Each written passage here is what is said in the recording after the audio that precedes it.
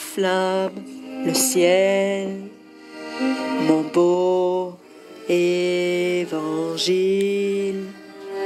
inaccessible ami fidèle, c'est pour moi, moi seul qu'il s'illumine. Je t'adore, je t'aime, évangile, toi mon roi de la nuit veille bien ma vie. Oh, c'est vraiment merveilleux, ma foi, qu'il aime quelqu'un comme moi. L'amour nous a trouvés, c'est fou. Oh, je t'aime, évangile.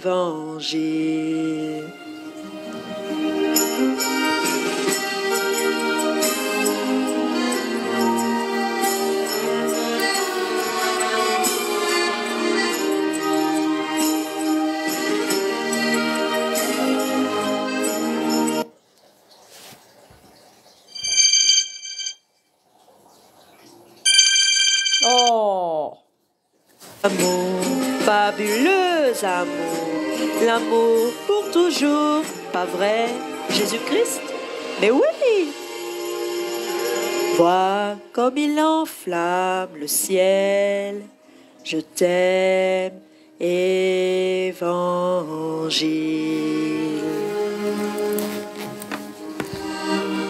Ils ont gâché ma chanson avec leur interphone, la daube.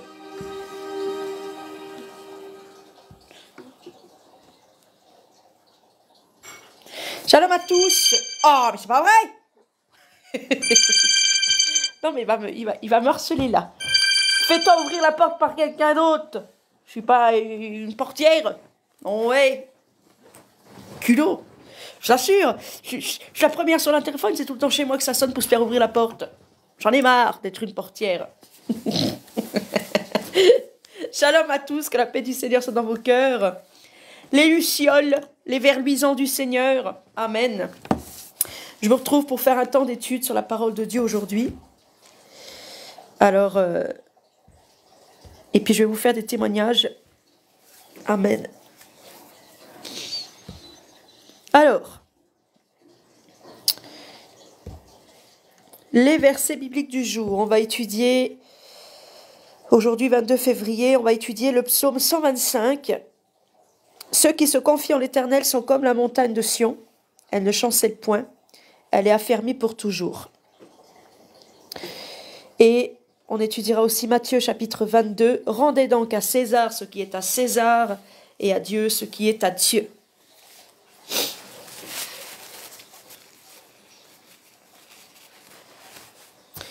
Alors voici mon premier témoignage ce matin. Euh, je me suis levée, mais j'étais fatiguée. Amen. Et euh, ma fille, du coup, elle s'est levée, voyant que je, me levais, mais en retard. Elle s'est levée, puis elle a, elle a ouvert au chat, comme d'habitude, et tout ça. Et moi, je me suis remis dans le lit après avoir adoré le Seigneur, puis je me suis allongée, mais mes yeux se, se fermaient quand même. Puis je vois passer une silhouette dans mon couloir. J'ai cru que c'était ma fille qui était retournée au lit. Puis je vois passer une deuxième silhouette, je vois ma fille passer. mais je dis, tu viens de passer, qu'est-ce que tu fous? Tu fais que des allers-retours dans le couloir. Mais elle dit, maman, c'est pas moi. Je viens de sortir les chats, là. euh, voilà. Et elle dit, c'est fou que tu dises ça parce que euh, j'ai vu quelque chose comme un chat rentrer chez nous. Justement, quand j'ai ouvert au chat, euh, c'est comme s'il y en avait trois. Oh, j'ai dit, laisse, c'est pas grave, tu dois, t'as dû rêver, c'est pas grave, laisse comme ça. Puis du coup, elle est retournée dans sa chambre, puis elle est retournée se coucher elle aussi. Et il y a euh, une apparition qui s'est faite devant elle. Elle me dit c'était noir et blanc, maman. C'était bizarre. Et euh, c'était un esprit qui est venu, venu essayer de, l'endormir. Même si elle s'était mise dans le lit euh, et qu'elle aurait dormi d'elle-même, c'est un esprit qui est venu l'endormir, essayer de l'endormir, mais spirituellement. C'est bizarre qu'elle dit, comme, euh, comme apparition.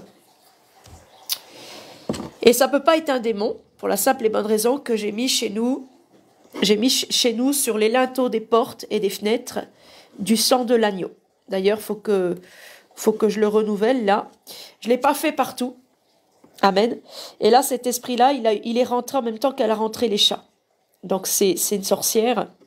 Une sorcière peut prendre votre apparence. Une sorcière euh, a besoin de se faire ouvrir la porte hein, pour rentrer. hein. Elle profite euh, qu'une porte ou une fenêtre s'ouvre pour rentrer. Le démon, il peut plus rentrer, donc euh, il envoie quelqu'un d'autre. Le démon a des serviteurs. Il a, les démons ont des sorcières hein, qui travaillent pour eux. Ils couchent avec des sorcières, même les démons succubes, incubes. C'est des esprits hein, de, de, de, démons, là. Voilà. Donc ça, c'est une sorcière. Et ouais. Et elle s'est fait passer pour ma gamine. J'ai cru que c'était ma gamine qui était passée dans le couloir. Parce que bah, je me serais levé la, chasser. Je me serais levé la chasser. Et ils essaient, euh, ils essaient de nous mettre un esprit d'assoupissement pour qu'on ne puisse pas se lever adorer Dieu, pour qu'on soit trouvé. euh, le Seigneur, il dit euh, que je ne te trouve pas endormi. Tu dois veiller et prier. Amen. Le jour où j'arrive, que je ne te trouve pas endormi comme les gens du monde. Amen. Donc, il nous envoie un esprit d'assoupissement parce qu'ils veulent, ils veulent nous mettre à défaut vis-à-vis de, du service qu'on a pour le Seigneur. Cette influence ne vient pas de Dieu, hein, c'est le diable qui cherche à nous arrêter. Amen. Que je ne te trouve pas endormi, verset biblique. Selon Bible.com, qu'il ne vous trouve pas endormi quand il arrivera tout à coup.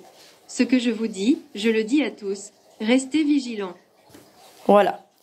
On doit rester vigilant.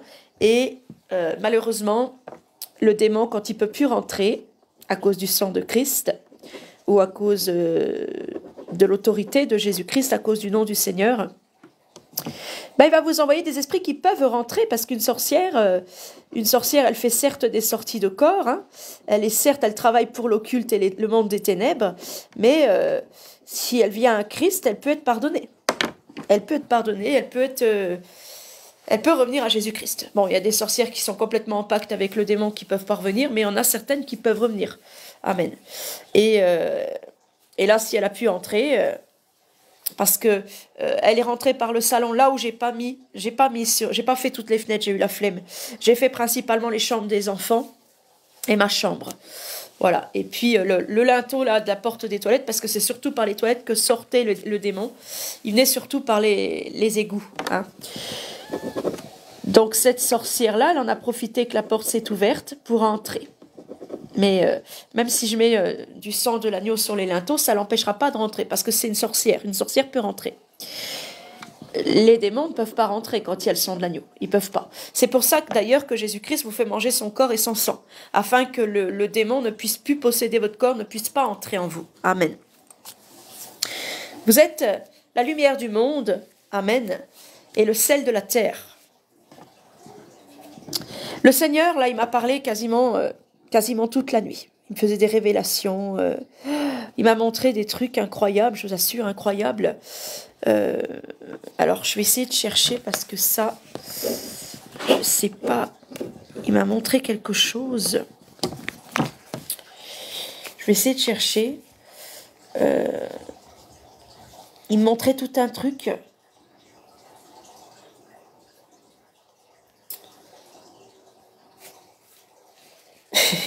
Oui, évidemment, il il va pas me trouver. euh,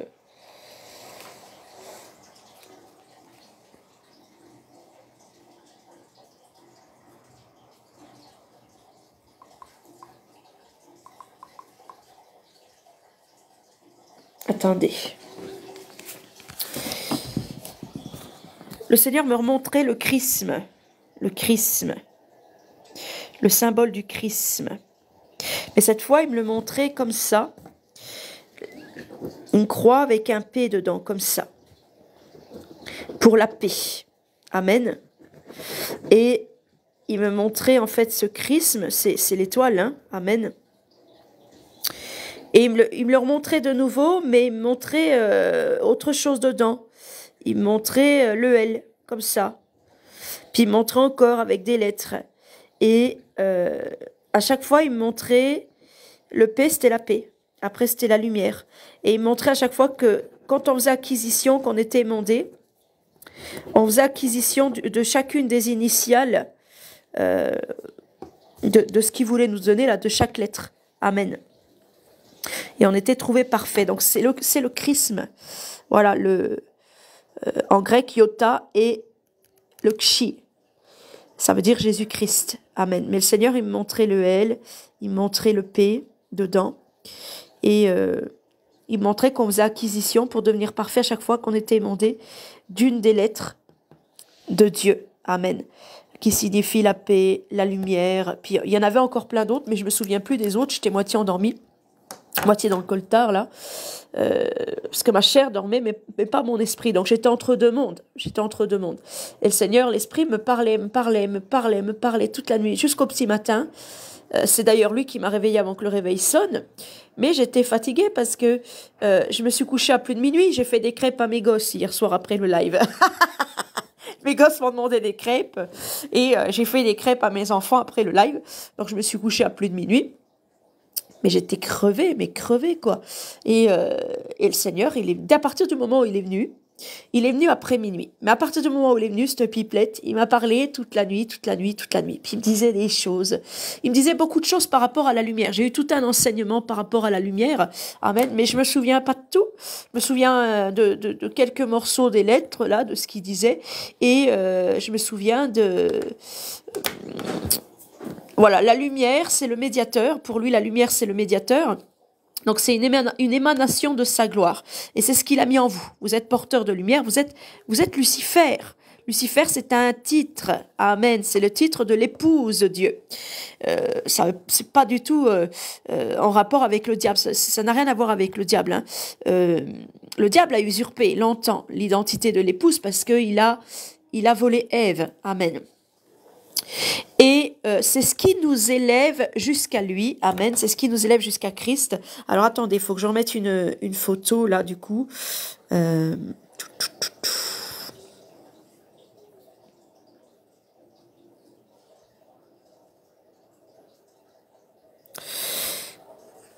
J'ai choisi le thème la princesse grenouille d'ailleurs à cause de ça, hein, à cause de la lumière. Amen. Alors vous, vous demeurez dans l'amour. Amen. Et l'amour, c'est certainement une lettre aussi du chrisme. L'amour, puisque la paix et la lumière sont des lettres du chrisme, des initiales de Dieu. Amen. Jésus, c'est l'étoile, c'est le centre, c'est le cœur, le, centre euh, auquel nous sommes tous reliés. S'il y avait des, des ficelles dans l'invisible, on serait tous reliés à Jésus-Christ on serait tous liés à Jésus-Christ. Amen. D'ailleurs, on a le pouvoir de lier et de délier. Pierre aussi, Amen, de lier et de délier. Pourquoi Pierre, il a reçu le pouvoir de lier et de délier? Tout simplement parce qu'il est le gardien de la porte du royaume des cieux. Et si un serviteur de Dieu n'est pas parfait, Pierre peut le délier de Christ, afin qu'il ne soit plus attaché à Christ et le rejeter dans les ténèbres du dehors. Amen. Apocalypse chapitre 2 verset 28, l'étoile brillante du matin, donc c'est Jésus-Christ, il vient à l'aurore, il vient le matin, et c'est notre lumière, c'est la lumière du monde nouveau. Et euh, bah, quand il paraîtra, euh, nous paraîtrons avec lui dans la gloire, parce que du coup, on sera dépouillé de, des ténèbres, de, notre corps de ténèbres, de notre prison qui nous rend captifs. Et comme on est des émanations de lui, parce qu'on a mangé sa lumière, son corps et son sang, Jésus est la lumière du monde, Amen. On est des émanations émanations de lui parce qu'on a mangé sa lumière, son corps et son sang. Jésus est la lumière du monde, Amen. On est des émanations de à lui. Amen. Comme un aimant, voilà, on va, on va, on va retourner à lui. Amen. Donc il me parlait de la lumière, que la lumière était le médiateur, le seul médiateur pour être enlevé justement ce jour-là euh, dans sa gloire. Amen. Mais euh, j'avais droit, comme je vous dis, à tout un discours à, euh, à propos du, du, du parce qu'il faut ressembler, être parfait, être parfait pour le Seigneur. Amen. Voilà, il faut, euh, il faut vraiment avoir toutes les choses que, que lui donne. Alors il y avait d'autres lettres, je ne sais pas exactement combien il y en avait, mais il y avait la paix et la lumière. Amen mais certainement l'amour, euh, la miséricorde peut-être, j'en sais rien, il y en avait plein. Et je vous dis, euh, il me parlait, il me parlait, il me parlait, mais j'étais vraiment entre deux mondes. J'étais vraiment entre deux mondes, à la fois attirée par ce corps qui était appesanti par le sommeil, mais à la fois éveillée quand même parce que ben j'ai quand même bossé pour le Seigneur, j'ai quand même euh, veillé, je me suis quand même levée, tout ça. Puis le Seigneur me parlait, me parlait, me parlait. bon, puis j'ai des pertes de mémoire, donc c'est dommage parce que je peux pas, je peux pas tout vous dire quoi. Voilà, c'est dommage. Donc si Jésus était euh, Jésus est l'étoile et nous sommes des émanations, donc les, les ce qui brille hein, autour d'une étoile. Amen. Et si ces, ces, ces émanations étaient des cornes, on serait tous, tous, tous, mais tous reliés au Seigneur Jésus-Christ. Amen. Le soleil est semblable à un époux, nous disent les Écritures. Le soleil, c'est une image de Dieu. C'est une image de Dieu. Ça représente Dieu et les rayons représentent vous, vous qui êtes reliés en esprit au Seigneur. Amen. Et quand il reviendra donc ce matin-là, à l'aurore. Euh, bah, J'espère pour vous que vous avez, vous avez tout ça, que vous demeurez bien dans le Seigneur Jésus. De mettre en pratique l'évangile, c'est vraiment ce qui va vous permettre d'obtenir toute chaque lettre du chrisme pour pouvoir retourner euh, bah, au Père, à votre Père qui est dans les cieux. Amen.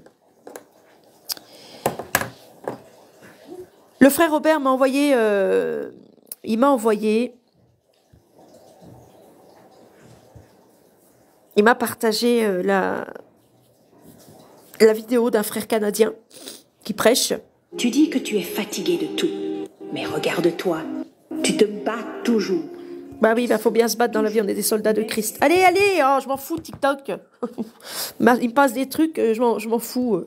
Je m'en fous, je m'en fous. Ça recommence. Ah, je vous ai pas dit, tiens, à propos, d'hier, pour, euh, ah, comment il s'appelle? Gasbiel. Gasbiel.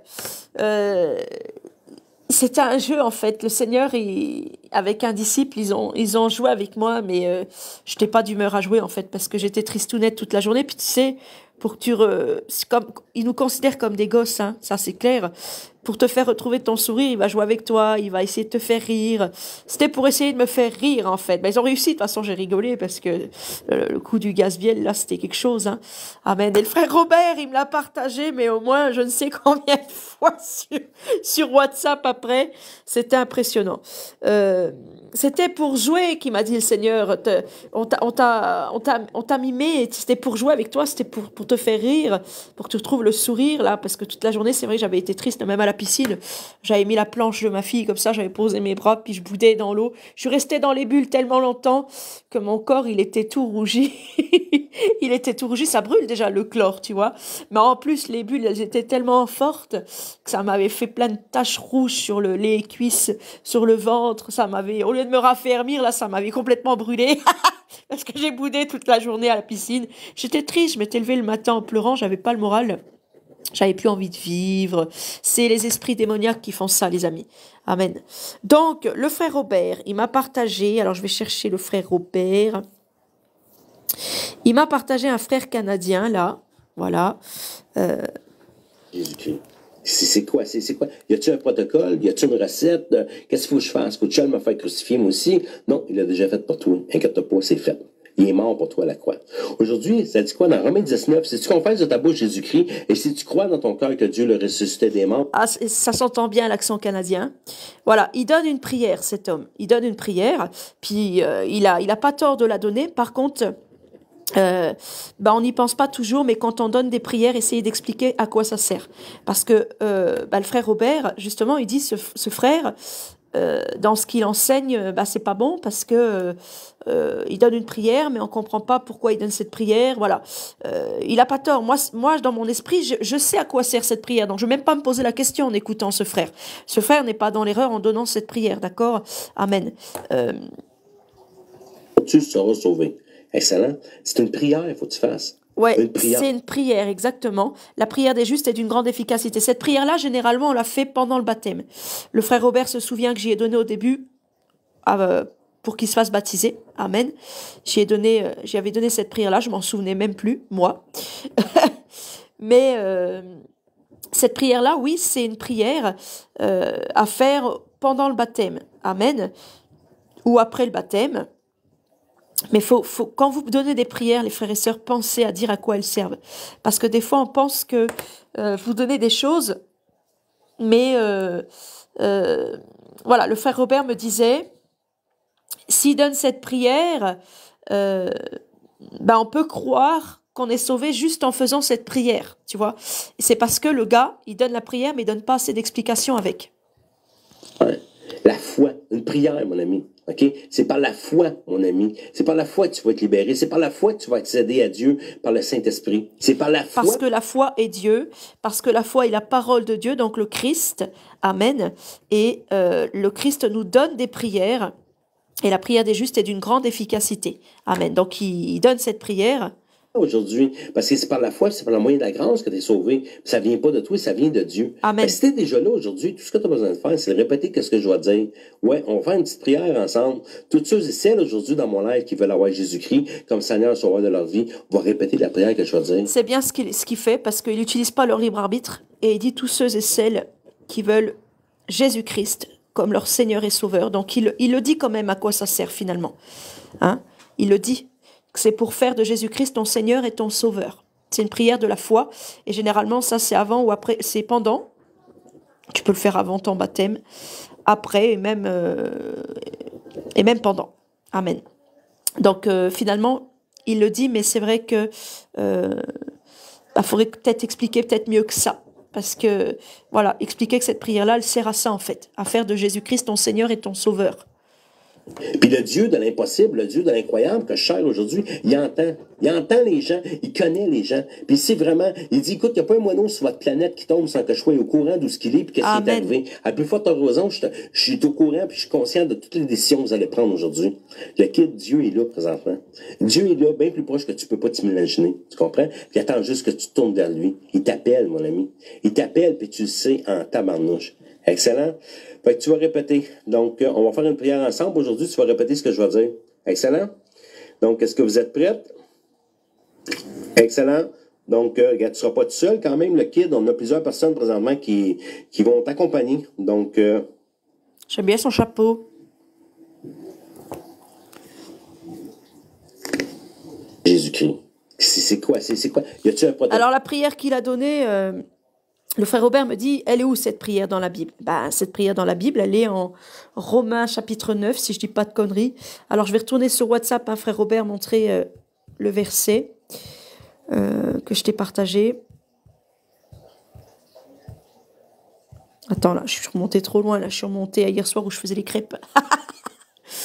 Euh, Romains chapitre 10, verset 9. Voilà, non, si, je disais une connerie, c'est pas verset 9, c'est c'est chapi- c'est chapitre 10, pas chapitre 9.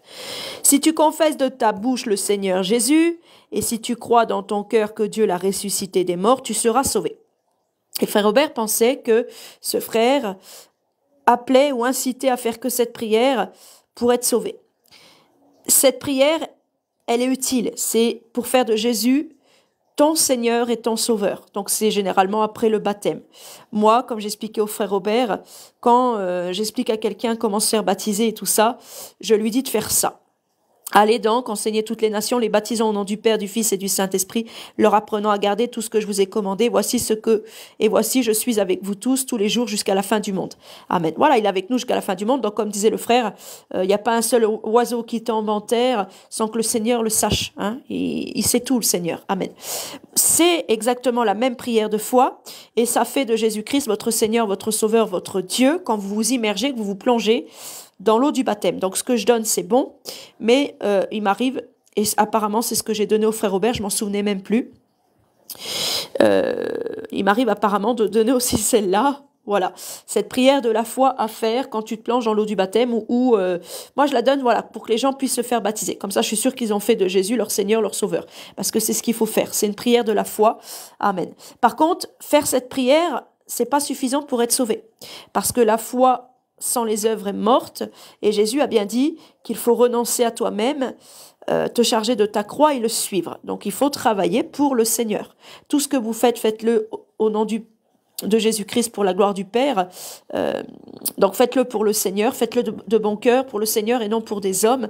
Amen. Donc il y a, il y a des choses à faire pour le Seigneur. On doit... euh, bah justement, on doit avoir ce fameux chrisme, euh, la paix, la lumière, l'amour, la miséricorde, etc. Je pense que l'amour et la miséricorde font partie du chrisme, mais je vous dis après, je sais plus, donc je peux pas tout vous donner, voilà. Mais euh, ça, ça vient en gardant le banc dépôt que Dieu a fait en nous. Et le banc dépôt que Dieu a fait en nous, bah, c'est Jésus-Christ. Euh, parce que après ton baptême, déjà quand tu te baptises, tu reçois le Seigneur Jésus, puis après tu manges le corps et le sang de Jésus, donc pour te laver de tes péchés, puis après tu commences à lire la Bible, à adorer le Seigneur, à veiller et à prier, etc., etc. Puis ensuite, quand tu auras grandi, tu iras exhorter, censurer, corriger tes frères et sœurs en Christ, parce que tu auras grandi, tu seras pas resté un agneau, un petit agneau qui tête le lait de la parole. Tu vas grandir et tu dois grandir au point de devenir un ange le matin à l'aurore quand le Seigneur reviendra. Euh, donc un ange, une émanation de lumière qui travaille pour Dieu et qui retourne à Dieu. Amen. Donc cette prière ne suffit pas pour être sauvé parce que le Seigneur, il dit de confesser de sa bouche le Seigneur Jésus-Christ, Amen, donc de dire qu'il est votre Seigneur, votre Sauveur et votre Dieu, mais aussi de croire dans votre cœur, et le fait que vous croyez dans votre cœur au Seigneur, vous allez recevoir des fruits du Saint-Esprit, la douceur, la paix, la charité, l'amour, etc., etc., le zèle, euh, la tempérance, la bénignité. Et tous ces fruits de l'esprit, c'est pour faire des œuvres et avoir des paroles en communion avec Jésus-Christ qui ressemblent à Jésus-Christ. Amen. Des œuvres alors, euh, au service des autres, Amen. Le frère Robert me disait, ben, j'ai compris, voilà, j'ai compris qu'il faut être au service des autres. Alors, je sais plus à quel moment tu me dis ça. Euh, alors, attendez. Il me dit, non, alors, je sais plus où c'est qu'il me dit ça. Il me dit à un moment, il me dit, faut qu'on soit au service des autres euh, voilà, pour être agréable à Dieu. Ben, il a compris, mais dans ce qu'il dit, c'est pas complet, c'est pas complet encore. Parce que oui, on doit être au service des autres pour être agréable à Dieu, mais c'est pour Dieu qu'on le fait. C'est pas pour des hommes. Et là, c'est complet, c'est complet. Mais il a déjà compris beaucoup de choses, hein, ce frère Robert, amen. Et euh, ben, il a pu voir là que vis-à-vis du frère. Alors vis-à-vis du frère, finalement, il n'y a pas de problème, frère Robert. Il n'y a pas de problème parce qu'il le dit. Il le dit, c'est pour reconnaître Jésus-Christ comme son Seigneur et son Sauveur qu'il a transmis cette prière. Moi, je trouve qu'il a bien travaillé. Moi, j'ai pas de reproche à faire à cet homme. J'ai euh, j'ai trouvé qu'il est euh, qui dit les choses. Peut-être c'est pas assez clair euh, de la façon qu'il les explique, mais moi, je trouve qu'il est il est dit quand même bien. Amen. Et comme je t'ai dit, j'ai rien à reprocher à cet homme. Amen. Sa prière qu'il donne, elle est bonne. Et euh, c'est une prière, oui, qu'il faut, euh, qu'il faut annoncer. Il faut expliquer qu'elle fait de Jésus-Christ votre Seigneur et votre Sauveur. Mais si tu expliques ça et tu donnes ça à des gens qui sont pas baptisés et qui qui ne se feront pas baptiser, ça leur servira à rien. Parce que la foi sans les œuvres, est morte. la première œuvre d'un chrétien, c'est de se faire baptiser pour Jésus-Christ. Il est bouillant pour Jésus-Christ, il reconnaît Jésus comme son Seigneur, son Sauveur, et il se met au service de Jésus. Quand tu entres dans le baptême d'eau, c'est pour mourir à toi-même, donc euh, pour renoncer à toi-même, te charger de la croix de Jésus, et travailler pour Jésus, le suivre. Amen. Comme l'ont fait les apôtres, ils ont travaillé pour Jésus. Amen. Euh, plus tu suivras le Seigneur, plus tu seras glorieux parce que tu vas, tu vas être changé. Amen. Au point de devenir un ange qui sert le Seigneur. Amen. Mais euh, plus tu suivras le Seigneur, plus le Seigneur te fera travailler pour les autres. Voilà. Alors, allez, on va faire le temps d'étude, les amis. On commence par le psaume 125. Alors je vais euh, prendre un truc là, poser mon téléphone dessus. Psaume 125, les amis, louons l'Éternel car il est bon et sa miséricorde durera toujours. C'est ainsi qu'on invoque Dieu afin que le Saint-Esprit euh, de ses Écritures même, le Saint-Esprit qui est le consolateur soit avec nous et nous enseigne toutes choses parce que c'est lui notre rabbi. Il nous enseigne par la foi. Moi, je n'ai pas euh, d'église, je n'ai pas de secte et de religion. Je suis disciple de Jésus, témoin de Jésus. Je fais des témoignages, temps d'études, je les partage en direct live, comme il m'a demandé de le faire. Je fais des choses qui sont euh, à ma portée. J'ai pas besoin de dépenser d'argent pour ça. Mais euh, voilà, c'est ce qui est agréable au Seigneur parce que c'est ce qu'il me demande de faire. Amen. Je ne fais pas des choses selon les religions et les sectes et euh, je n'ai pas de dénomination si ce n'est le nom de Jésus-Christ, l'Éternel des armées. Amen. Cantique des degrés. Ceux qui se confient en l'Éternel sont comme la montagne de Sion. Elle ne chancelle point, elle est affermie pour toujours. Il vous donne sa force pour marcher sur les serpents et les scorpions. Amen donc pour marcher sur les gens du monde. Si tu as un esprit de lumière, un ange, ta place, elle est dans le royaume de Dieu, elle est au paradis. Et tu marcheras forcément euh, sur la tête des démons qui, eux, restent sur terre, sont tombés sur terre. Eux, ils sont des esprits de ténèbres. Vous devez, voilà, c'est ce qu'il me disait, hein. il me disait, vous devez, ça me revient, tu vois, ça me revient. Il me disait, vous devez passer de ce monde de ténèbres, avec les méchants esprits, à mon admirable lumière. Et pour que ça se fasse, il faut que vous deveniez lumière. Donc il montrait le chrisme. Il faut devenir paix, euh, lumière, puis montrer les autres lettres, mais j'ai pas, j'ai pas tout suivi parce que c'est comme si à des moments je me rendormais dans la chair. L'esprit bien, est bien disposé, mais la chair est faible. Donc le médiateur entre nous et Dieu, c'est le Christ. Jésus est la lumière du monde. Et cette lumière, c'est ce qui nous permet de nous rendre lumière et de faire que on soit, hop, enlevé dans la grande lumière, dans la gloire de Dieu. Amen. Arrêtez de casser les houilles avec vos fausses histoires. Soutenez les agriculteurs. Alors Joe, euh, tu vas aller parler euh, plus poliment et ailleurs. C'est pas comme ça que tu vas soutenir les agriculteurs en agressant les gens. Euh, si pour toi c'est des fausses histoires, pour moi ce sont de vrais témoignages. Tu n'as pas utilisé mon libre arbitre, d'accord? Les agriculteurs, euh, ils travaillent certes pour ce monde, ils cultivent la terre, ils sont payés pour ça, ils gagnent leur vie. Euh, ils ont choisi le monde, moi j'ai choisi, Jésus-Christ. Si toi tu as choisi le monde et que euh, le combat de ta vie se résume à soutenir des gens, euh, des gens qui accueillent avec joie la politique qui les opprime, leur, leur, leur, leurs ennemis, eh ben écoute, c'est ton problème, c'est leur problème, c'est pas le mien, d'accord? Donc fous-moi la paix et euh, c'est toi, pars avec tes, tes, tes, tes du monde, là j'en ai rien à foutre. Voilà, tu, tu, me fatigues. Hop, adios. Oh mais euh, quel culot celui-ci. Mais c'est fou ces gens qui, qui, sont culottés comme ça à vouloir venir utiliser notre libre arbitre.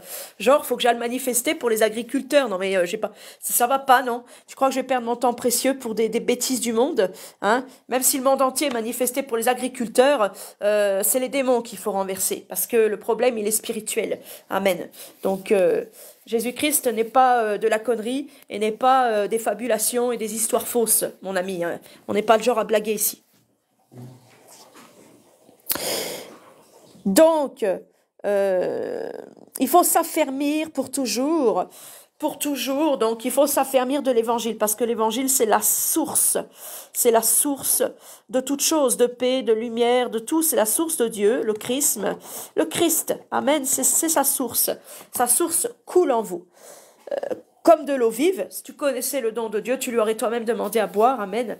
Et c'est ce qui fait qu'on peut manifester le fait d'être un ange, d'être une créature de Dieu. Des montagnes entourent Jérusalem, ainsi l'Éternel entoure son peuple, dès maintenant et à jamais. Donc, euh, je vous ai fait le témoignage il n'y a pas longtemps que la porte d'Ishtus, euh, c'est l'Éternel, parce qu'il est la porte des brebis. Alors, j'ai mis des coups de pied dedans, hein, bravo, euh, mais il m'a rendu l'appareil, il m'a réveillé le matin très tôt par mes propres coups que j'avais portés dedans. Amen, parce que le Seigneur, il rend à chacun selon leurs œuvres. Et là, quand il dit des montagnes entourent Jérusalem, bah, le, les montagnes, c'est des groupes de gens c'est l'Éternel, Amen, avec les anges. Et les anges protègent et combattent pour le Seigneur. Tiens, le Seigneur me fait un signe. Avril, avril, avril. Euh, Qu'est-ce que tu as eu aujourd'hui sur Facebook? Ah oui, c'est vrai, c'est vrai, c'est vrai, c'est vrai. Euh, face de bouc. Vous avez des souvenirs à revoir aujourd'hui. Allez, vas-y, donne-moi le souvenir d'aujourd'hui. Il y a un an, le 22 février 2023, qu'est-ce que vous racontez, votre sœur Avril? L'esprit me réveille en musique. Belle, est-ce le diable qui s'est incarné en elle? Pour détourner mes yeux du Dieu éternel Vous avez, reconnu la comédie musicale de Notre-Dame de Paris. Qui a mis dans mon être ce désir charnel C'est euh, pas la première fois que mon Seigneur, mon homme, me chante des chansons. J'en ai eu plein. Euh, même une fois, il a chanté quand je, me lève, je te bouscule, tu ne te réveilles pas comme d'habitude. Ah bah oui, non, mais moi, de toute façon, je suis une grosse feignasse le matin, ça c'est sûr que comme d'habitude, je me réveille pas. Qu'est-ce qu'il m'avait donné? Ah oui, il m'avait donné une musique encore en cadeau, amen. Mais c'est pas ça que je cherchais. Alors, qu'est-ce que j'avais partagé? Euh, Mon Seigneur, l'Esprit de vérité de vie, l'Éternel notre Dieu, en qui nous avons l'espérance m'a rappelé ce matin et souhaite que je témoigne d'eux. Quand il me permit de voir sur une montagne une partie des 144 000 vêtus de tuniques blanches jusqu'aux genoux, alors c'était des petites gueules de basanés, hein, ayant des glaives à la main, ils étaient accroupis en embuscade et ils faisaient le silence. L'époux, Dieu, euh, sous la puissance d'un feu ou d'un soleil, les entourait. Dieu m'éleva en esprit devant eux et tous m'ont vu, car tous ont levé la tête vers moi et m'ont regardé. Amen. Et qu'est-ce qu'il y a dans le commentaire? Révélation, ce sont les 300 hommes et compagnons de Samson, les hommes sur la montagne. Amen. Euh, c'est voilà, il nous avait fait la révélation de dire que ces hommes-là que j'avais vus, c'est les hommes euh, qui accompagnaient Samson, euh, donc ceux que, que le Seigneur avait choisis. Amen.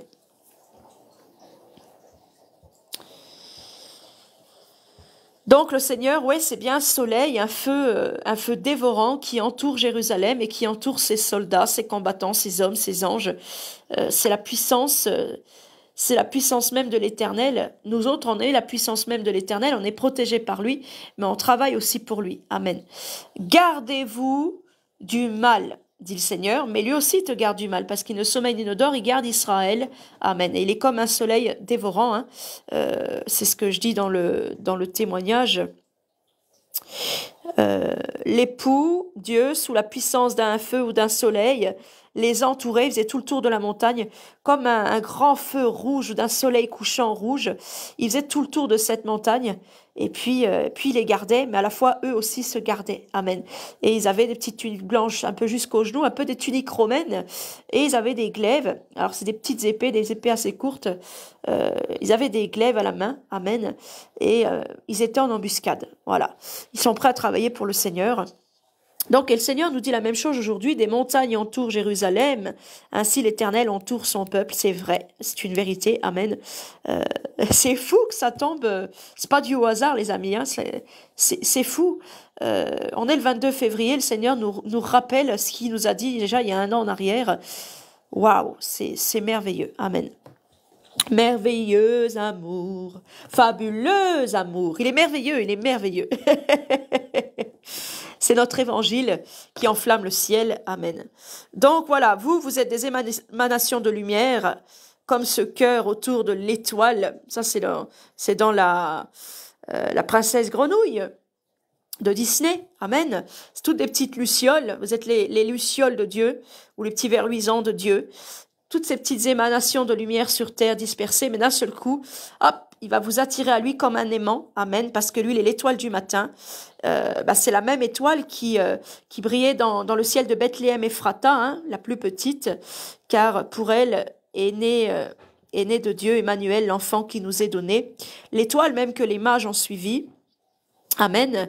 L'étoile de Jésus n'est jamais tombée sur la, sur la terre. Hein, euh, il n'est pas le diable.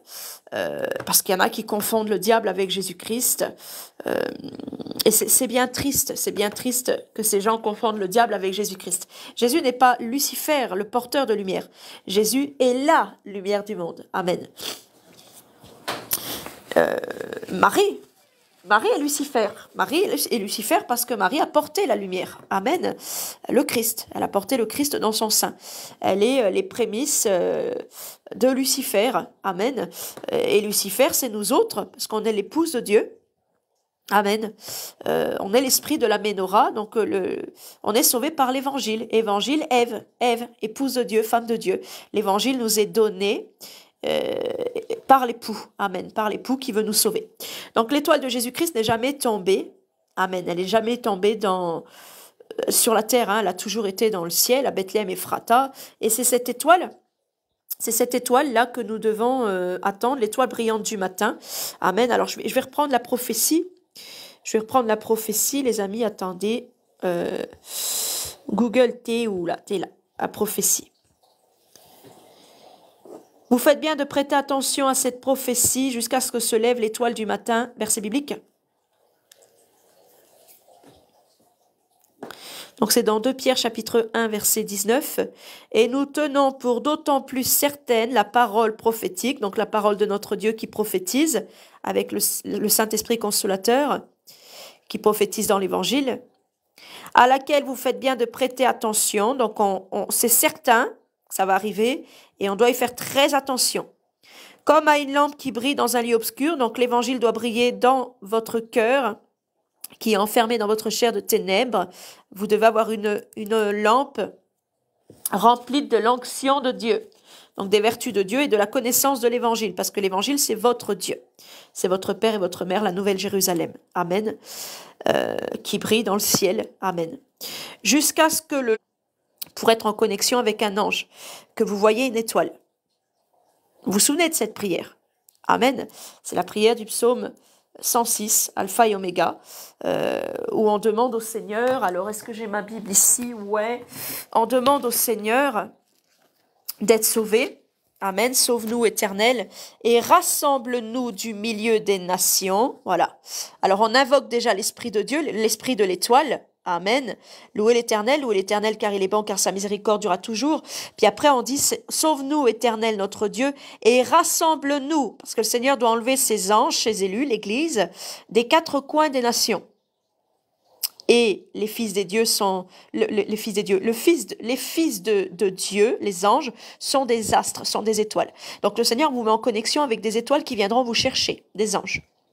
Et rassemble-nous du milieu des nations, enlève-nous, afin que nous célébrions ton saint nom, et que nous mettions notre gloire à te louer, afin que nous célébrions ton saint nom, là où les anges se prosternent, il faut qu'on aille se prosterner. Parce que finalement, quand on adore Dieu dans notre chambre, Certes, on adore Dieu dans le secret, mais euh, on se connecte à lui, mais on n'est pas, euh, on n'est pas avec lui. On est encore séparé de lui.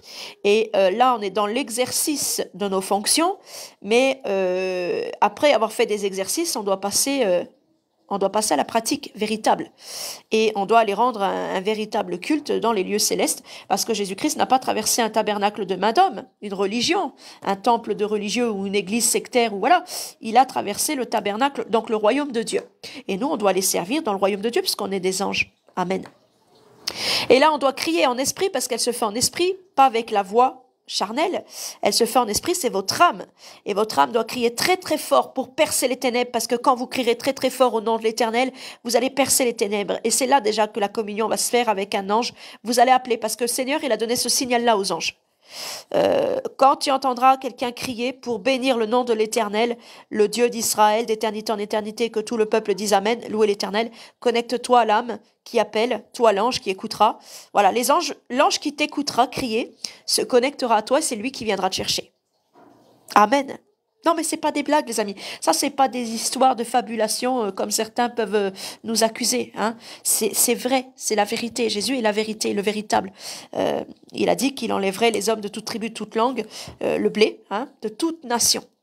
Amen. Et c'est ce qu'il va faire. Et il donne cette prière. La prière des justes est d'une grande efficacité. Donc, le jour de l'éternel va arriver. Amen. L'étoile du matin va paraître. Et l'étoile du matin, c'est votre Père, c'est le Christ. Amen. Apocalypse chapitre 2, verset 28. L'étoile brillante du matin, Jésus-Christ. Amen. Donc, à ne pas confondre avec Satan. Et je vais vous donner des explications de pourquoi et du comment, parce que le Seigneur même m'a expliqué, parce que moi-même j'ai fait cette erreur. Euh, Jusqu'à ce que l'étoile du matin se lève dans vos cœurs. Donc quand l'étoile du matin va se lever dans vos cœurs, c'est la lumière, c'est le chrisme. Vous allez recevoir la lumière. Donc la, la paix, la paix est un médiateur. Levé dans vos cœurs, c'est la lumière, c'est le chrisme. Vous allez recevoir la lumière. Donc la, paix, la paix est un médiateur différent, euh, qui est toujours Dieu, qui est toujours le Christ, Amen, mais qui vous permet d'élever votre âme comme un ascenseur jusqu'au ciel. C'est c'est le fait que le Seigneur envoie un ange à son église, un ange de lumière, une émanation de lui, pour que vous, vous soyez attirés à lui comme un aimant. Amen. Donc, quand vous allez être enlevé, euh, alors j'ai deux choses à expliquer. Hein. Frère Robert, parce que je perds la bouboule. J'ai deux choses à expliquer là, qu'il faut que j'explique aux frères et sœurs, c'est important. Euh, la différence entre euh, le Christ et Satan, l'étoile du matin, et il faut que je raconte aux frères et sœurs là par rapport à Pierre. Par rapport à Pierre, parce que quand on est enlevé, c'est Pierre qui nous accueille. Pierre a reçu les clés du royaume des cieux. Amen. Donc je te confie euh, la mission, frère Robert, de m'écrire euh, euh, Christ, matin, Satan.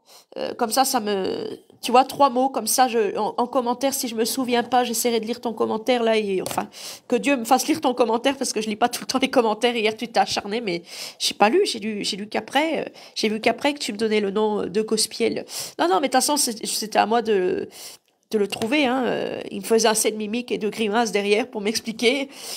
Puis ils m'ont fait rire, ils m'ont fait rire. Parce que bah, j'étais pas mal déprimée quand même hier. hein au point de vouloir mourir le matin. Qui veut mourir alors qu'on a de l'espérance, on a Christ? Tu vois que je suis pas dans mon état normal euh, il y a des jours. Alors, tu es pierre et sur cette pierre je bâtirai mon église, verset biblique. Selon AELF. Ta ta ta ta 18 ta. Taratata. C'est moi. C'est moi qui le fais. Donc, Matthieu chapitre 16, verset 18. Et moi, je vous dis que tu es, et moi, je te dis, pardon, que tu es pierre et que sur cette pierre, je bâtirai mon église et que les portes du séjour des morts ne prévaudront point contre elle. Euh, la catho romaine nous fait croire que c'est elle l'église euh, et que le séjour des morts ne prévaut rien contre elle. Attendez, combien de curés se sont fait égorger dans les églises Hein?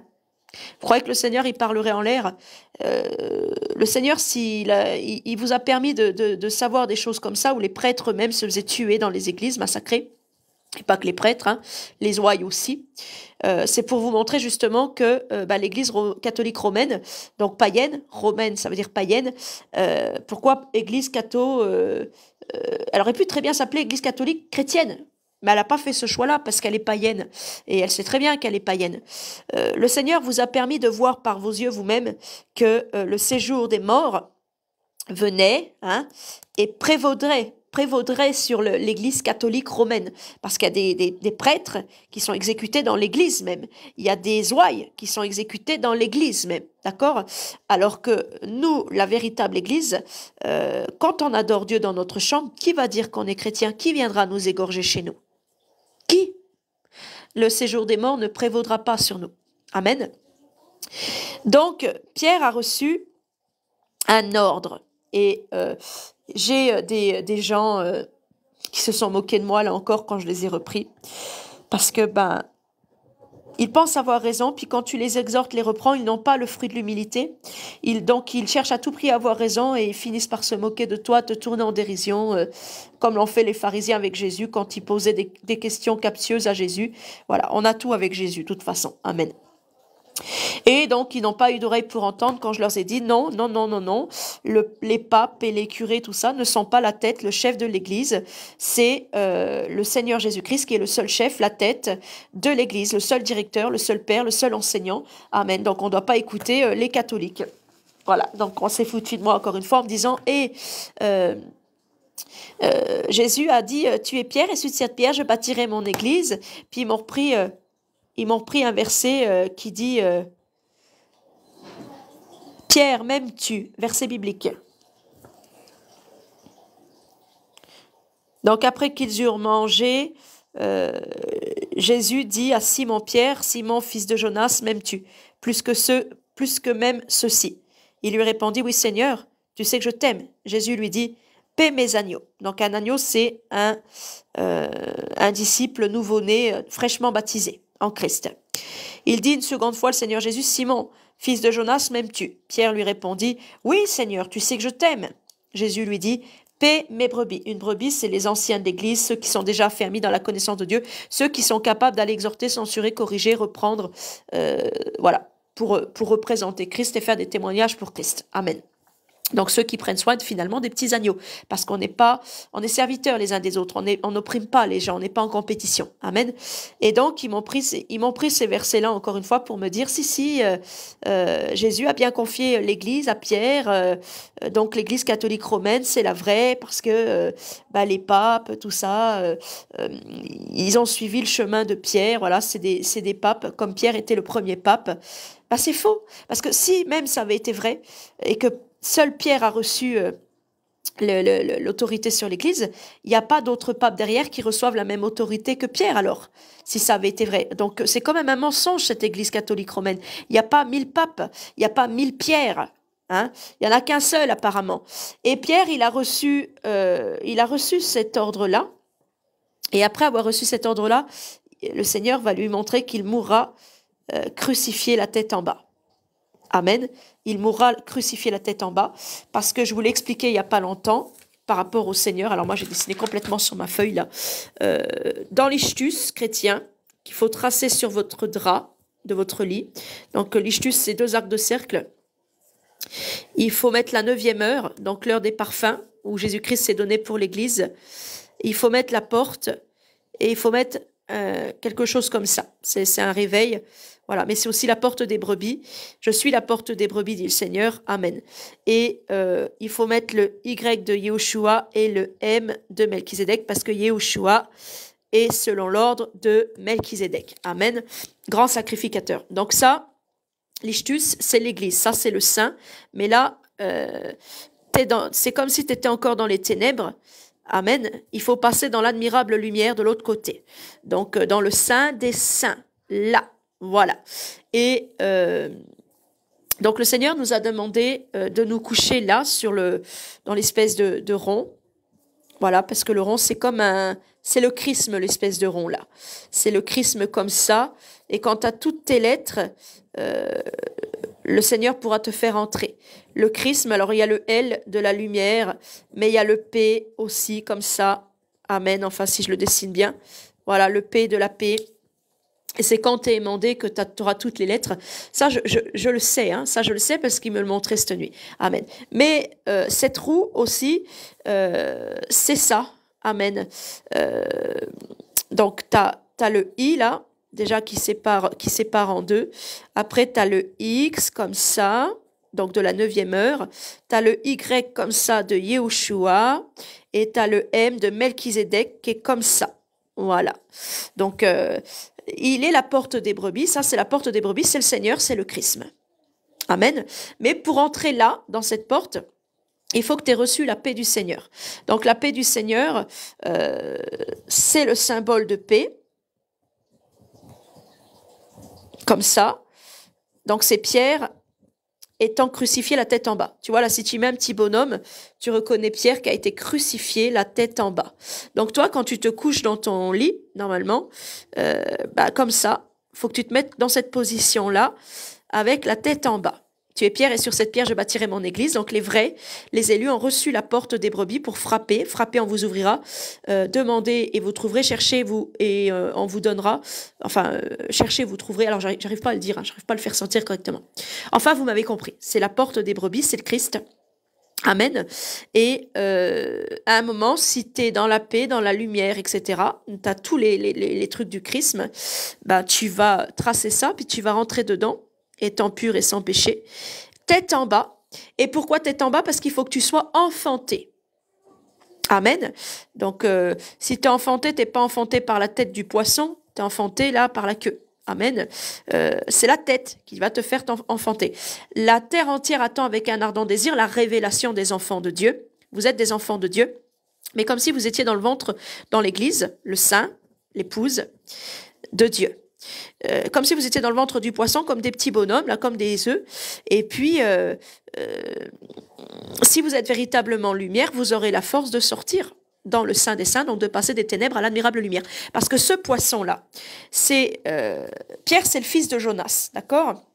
Pierre, c'est le fils de Jonas. Simon, fils de Jonas. Simon, qui, a été rebaptisé Pierre, c'est le fils de Jonas. Amen. Et Jonas, c'est celui qui a été avalé par le poisson, qui est resté trois jours dans un poisson. Amen. et euh, Jonas était tiède et froid, donc il a été vomi de la bouche de Dieu. Si tu es tiède et froid comme chrétien, tu seras vomi de la bouche du Seigneur. Quand tu te coucheras dans l'Ichtus, si t'es pas parfait et que t'as pas tout, euh, tout pour, pour accomplir le chrisme, eh ben tu, euh, tu resteras dans les ténèbres du dehors, malheureusement, là où il y a des pleurs et des grincements dedans. Tu pourras pas sortir. Par contre, euh, si tu es parfait, tu pourras te coucher comme Pierre dans la porte. Amen. Et puis le Seigneur, à l'heure même, il te fera ouvrir la bouche et il te fera déclarer ce qu'il faut dire en esprit pour, euh, pour déclencher... Euh, bah, c'est le nom de, de, de l'éternel Dieu, hein, le nom imprononçable, pour déclencher ta sortie. Un peu comme Lilith quand elle est sortie du jardin, elle a, déclenché sa sortie en prononçant le nom du divin. Voilà. Mais le Seigneur, alors même, il te fera ouvrir la bouche, voilà, pour ce que tu dois dire. Parce que euh, Pourquoi cette position euh, d'enfantement? Comme un bébé, tu te mets la tête en bas, en position d'être accouché, d'être enfanté, pour la nouvelle Jérusalem. Amen. Euh, donc, t'es pas né de nouveau, t'es euh, es en cours, euh, t'es comme une grossesse qui a commencé, amen. T'es comme un fœtus qui se développe, mais un, un fœtus qui est pas prêt à être enfanté, euh, euh, tant qu'il est pas prêt, tant qu'il n'est pas de nouveau, tant qu'il sort pas, tant qu'il va pas dans la lumière de Dieu. Il faut que tu grandisses et que tu grandisses et que tu sois prêt. On fait euh, sortir un bébé du sein de sa mère euh, à neuf mois de grossesse quand il est prêt et ça se déclenche le travail. Sinon, le, bébé reste dans le sein de sa mère tant que le, travail ne peut pas être déclenché. Tu comprends? Amen. Euh, si un bébé, si on te fait sortir avant, euh, t'es un bébé euh, mal formé, t'es un bébé avec des problèmes. Et c'est pas, c'est pas. ah, Dieu ne veut pas te faire sortir avant. Dieu veut te faire sortir à temps, au bon moment. Amen. Donc travaille pour ton salut vraiment. Car la foi sans les œuvres est morte, et il te faut le chrisme, hein, il te faut la paix, amen, il te faut la lumière, il te faut, il te faut chaque lettre. Donc je les connais pas tous, mais s'il m'a donné, euh, s'il me donne déjà de me souvenir de celle-là, ben je rends en grâce à Dieu parce que c'est un exemple déjà pour eux. Et lui vous dira le reste. Parce qu'il veut pas donner ses perles non plus aux porcs et aux chiens. Donc euh, s'il m'a choisi avec mes trous de mémoire, je suis la personne idéale parce que euh, je vous donnerai des choses, mais je vous donnerai pas tout. Et euh, vous, par la foi, vous irez demander au Seigneur parce que c'est le Seigneur qui sauve, c'est le Seigneur le rémunérateur. Moi, c'est juste pour vous servir des exemples et pour vous donner envie d'aller demander le reste au Seigneur. Seigneur, qu'est-ce qui me manque? Peut-être la miséricorde. La miséricorde, elle tient. La miséricorde, elle est comme ça, là. Tu vois, elle fait le tour, là. Elle fait comme ça, elle fait un M. La miséricorde, je suis sûre qu'elle est dedans. Je suis sûre et certain qu'elle est dedans. Je, euh, j'en, j'en suis sûre. La miséricorde, c'est la, la forme d'amour la plus grande, la charité. C'est l'amour. Faut demeurer dans l'amour pour sortir. Faut demeurer dans la paix. Faut demeurer dans la lumière. Et l'obéissance, il me dit l'obéissance dans mon esprit. L'obéissance, le haut, il est là. Tu vois, l'obéissance. Amen. Tiens, bah, il me le donne, tu vois. Obéissance. Amen. Obéissance et évangile qui me dit évangile. Alors attends, parce que là, je, je vais vais plus y arriver, Seigneur. Évangile. Alors attends, on va refaire le rond. Évangile. Alors mon chrisme, il est comme ça, c'est l'étoile dedans, hein, d'accord? Évangile, le E, il est comme ça, le E de l'évangile. Là, tu vois? Évangile, c'est aussi ce qu'il te faut. Et quant à tout ça, t'es parfait, mon coco, pour naître, c'est pour, pour, pour avoir les douleurs de l'enfantement, donc pour être accouché, pour sortir. Amen. Et pour que l'ange de l'éternel vienne te chercher. T'es parfait. Couche-toi dans l'istus, dans le signe de la paix, parce que ça, c'est le peace. C'est la paix. Peace and love. C'est le symbole du peace. Voilà. C'est ce que Jésus m'a donné il y a pas longtemps. Amen. Et euh, donc Pierre, il est où là maintenant? Il est au ciel, il a reçu les clés du royaume des cieux. Vous êtes les clés. Et la clé, c'est le peace. Amen. La clé du royaume de Dieu, c'est la paix. Elle ouvre le royaume des cieux. Mais euh, il faut encore que vous déclarez par le Seigneur certaines choses en esprit pour pouvoir sortir. Mais il faut être trouvé dans cet état-là. Là, quand tu es dans cet état-là, tu es l'église sainte, glorieuse, sans tache ni ride. Donc tu peux sortir, tu peux passer la porte des brebis, la petite porte étroite et resserrée, qui mène à, quand tu es dans cet état-là, tu es l'église sainte, glorieuse, sans tache ni ride. Donc tu peux sortir, tu peux passer la porte des brebis, la petite porte étroite et resserrée, qui mène à la perdition, la chair, la matière, le monde. Voilà, donc renonce bien, bien à toi-même. Et puis après, bah, comme Pierre, hein, euh, Pierre a été crucifié la tête en bas parce que euh, lui, c'est le gardien de la porte. Amen. Et la porte, elle s'ouvre qu'avec le pisse, la paix. Donc quand toi, tu, tu te mets comme ça, c'est que tu tu t'humilies hein, dans l'ishtus, tu t'humilies en te mettant la tête en bas comme ça et en appelant un ange, euh, tu te ridiculises. Mais c'est dans l'humilité qu'on glorifie le Seigneur. Amen. Et Pierre, il est mort, il est mort, il nous a représenté quoi l'humilité? Parce qu'il se sentait indigne de mourir la tête en haut comme le Christ. Amen. Et euh, euh, je vous ai fait le témoignage, le Seigneur m'a donné une vision où je voyais Dieu le Père regarder sur terre. Et au moment où Jésus-Christ était en croix, euh, crucifié sur la croix, comme ça, voilà, sur la croix du taux, parce que c'est la, la croix du taux, hein, c'est un T, la croix de Jésus. Amen. Hop, on va mettre les petits pieds par là. Euh, le Père du haut du ciel, il, il voyait le Fils, il le voyait crucifié comme ça, tête en bas. Amen. Donc il le voyait. Il voyait euh, Jésus, déjà avec les premières images de lui. Pierre, Pierre, les premières, images, les premières véritables images de lui, de, Christ, Amen. Parce que quand Christ a été élevé sur la croix, il attire tous les hommes à lui, Amen, pour les élever encore après plus haut, quand il est assis dans la gloire, donc comme des émanations, Amen. Et vous devez, euh, parce que c'est Pierre qui est chargé de paître les brebis et les agneaux, donc vous devez vous mettre dans la position de Pierre, à Pierre- afin que Pierre vous reconnaisse. Amen. Mais euh, quand même, dans la position de Pierre, mais dans la gloire de Christ. Amen. Euh, cette gloire de Christ, tête en haut, c'est Christ, et tête en bas, c'est nous, les images de Christ, donc l'ombre, l'ombre du nouvel Adam. Amen. C'est magnifique, hein, les amis. Amen. Shalom, euh, Rico, que la paix du Seigneur soit avec toi. Apprends à dire shalom, à donner la paix ou à embrasser un frère dans la, dans la paix, parce que le Seigneur, c'est ainsi qu'il aime qu'on se salue, mon ami. Amen.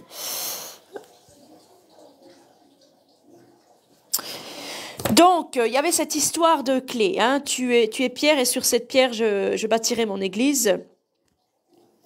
Je te donnerai les clés du royaume des cieux, verset biblique.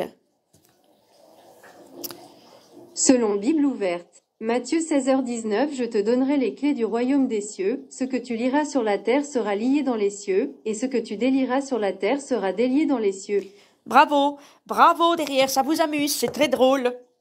Taratata qui disent. Faudrait qu'elle te fasse ça la Google. Taratata. tu l'as laissé parler là. Oui, je l'ai laissé parler. Oui, effectivement. Je me suis même pas rendu compte que je l'ai laissé parler. Allez derrière, ils s'amusent, ils s'amusent, ils sont, ils sont heureux, ils sont dans la joie là. Ils me font rire, ils me font rire, ils sont merveilleux. Amen. Donc, euh, je te donnerai les clés. Il y a des clés. Et Pierre lui-même est devenu une clé. Amen. Parce qu'il a il, a, il est la première image que Christ a choisie. Amen. Et nous-mêmes, nous sommes les clés, les brebis, les agneaux. Et quand Pierre il va, il va reconnaître une brebis, un agneau, il va ouvrir.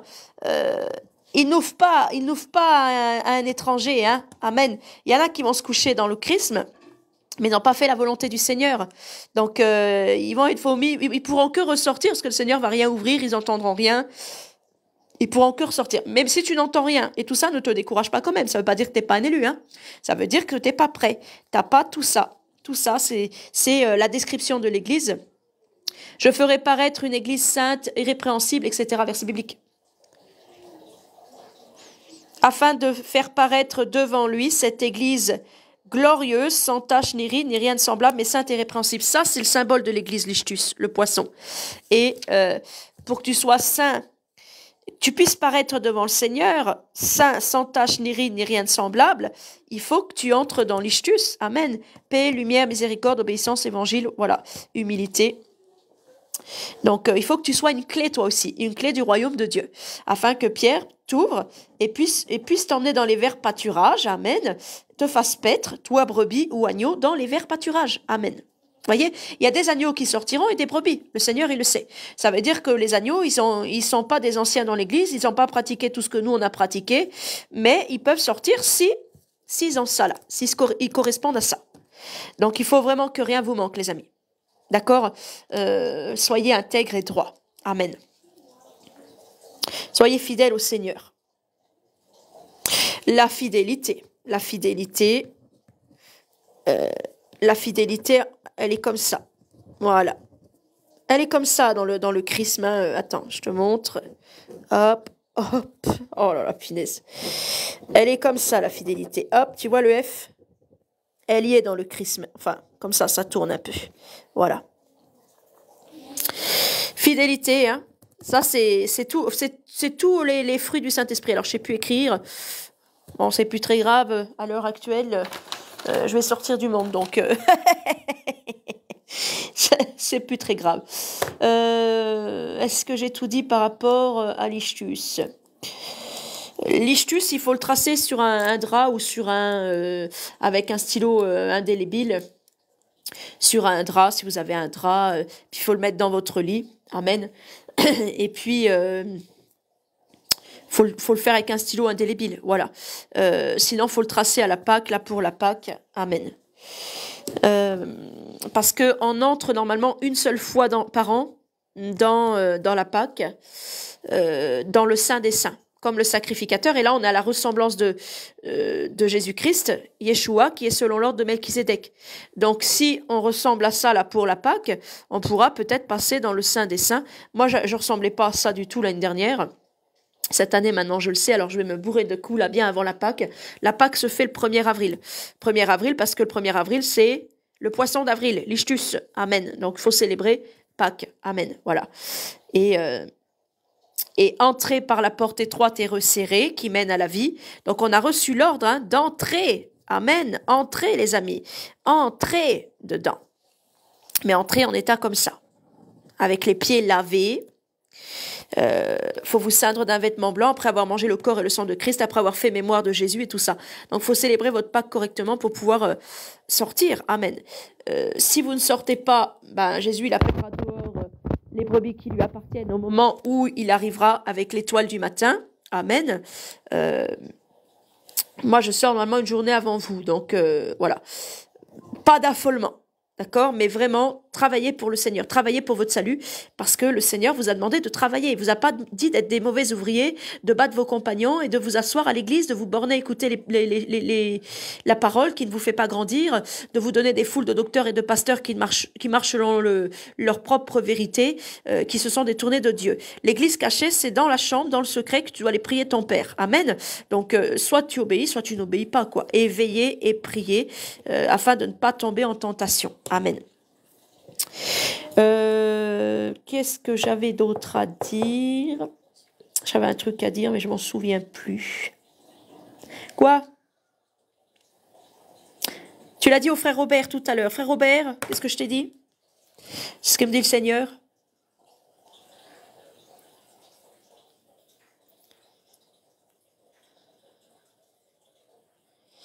Oui, une fois par an. Le sacrificateur ne pouvait pas entrer dans le lieu, dans le temple de Dieu à Jérusalem. Le temple de Dieu était comme ça, tu vois.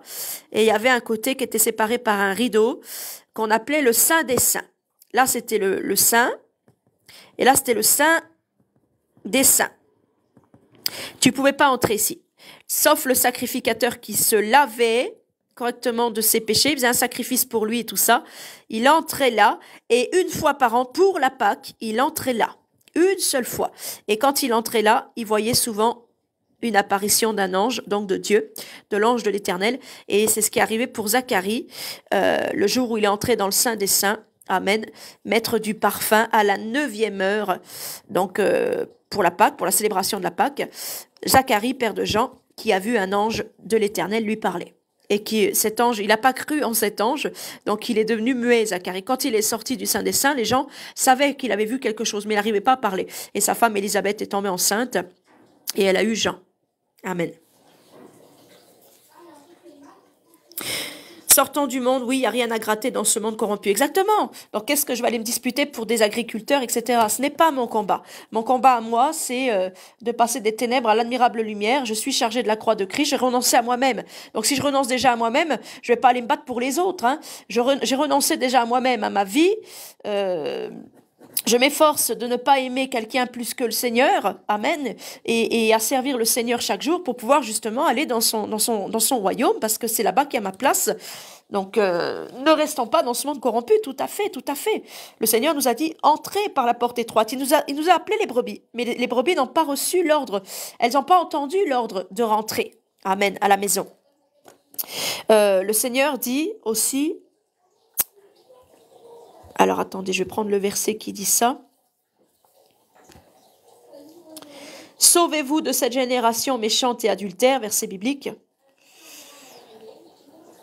Selon Oratoire du Louvre. 39, il leur répondit, Une génération méchante et adultère demande un miracle. Non, il ne pas lui ça. sera donné d'autre miracle que celui du prophète Jonas. C'est pas ça, c'est celle-là. Voilà.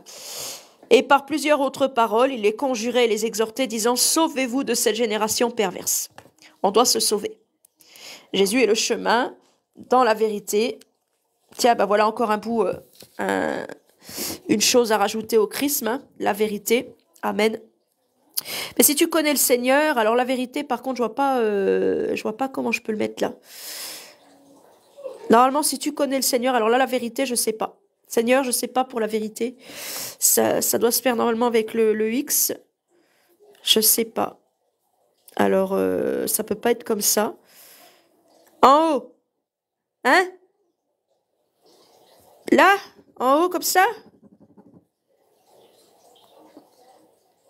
Ah, d'accord. Ah, ok, d'accord. Il dit oui, en haut. en haut comme ça, levé la vérité, parce que la vérité, euh, ben, là, elle s'est, elle s'est, elle s'est, euh, vous, vous êtes l'image, vous entrez dans le sein, mais la vérité, elle est dans le sein des saints, parce que Dieu est le véritable, le. Donc, tu vois, elle se retrouve que dans la partie du sein des saints, parce que c'est comme si le, la- le- voilà, c'est comme si là, t'as la terre, là, t'as le ciel, et le sein des saints. Donc, la vérité, elle est en haut comme ça. Ok. Oh, je je sais pas, moi, je cherchais à la mettre comme ça. ou je cherchais à la mettre comme ça sur un côté. Tu vois, euh, on ne sait pas. Il faut vraiment être guidé par le Seigneur pour toute chose. Amen. Donc il te faut, hein, il te faut euh, ce que le Seigneur te dit. Donc le Seigneur nous a donné ordre il y a longtemps hein, d'entrer par la porte étroite et resserrée qui mène à la vie et de se sauver de cette génération perverse. Frappez et on vous ouvrira. Donc parce que ça c'est la porte des brebis, c'est l'Ichtus. Je suis la porte des brebis, dit le Seigneur. Amen. L'Ichtus, chrétien,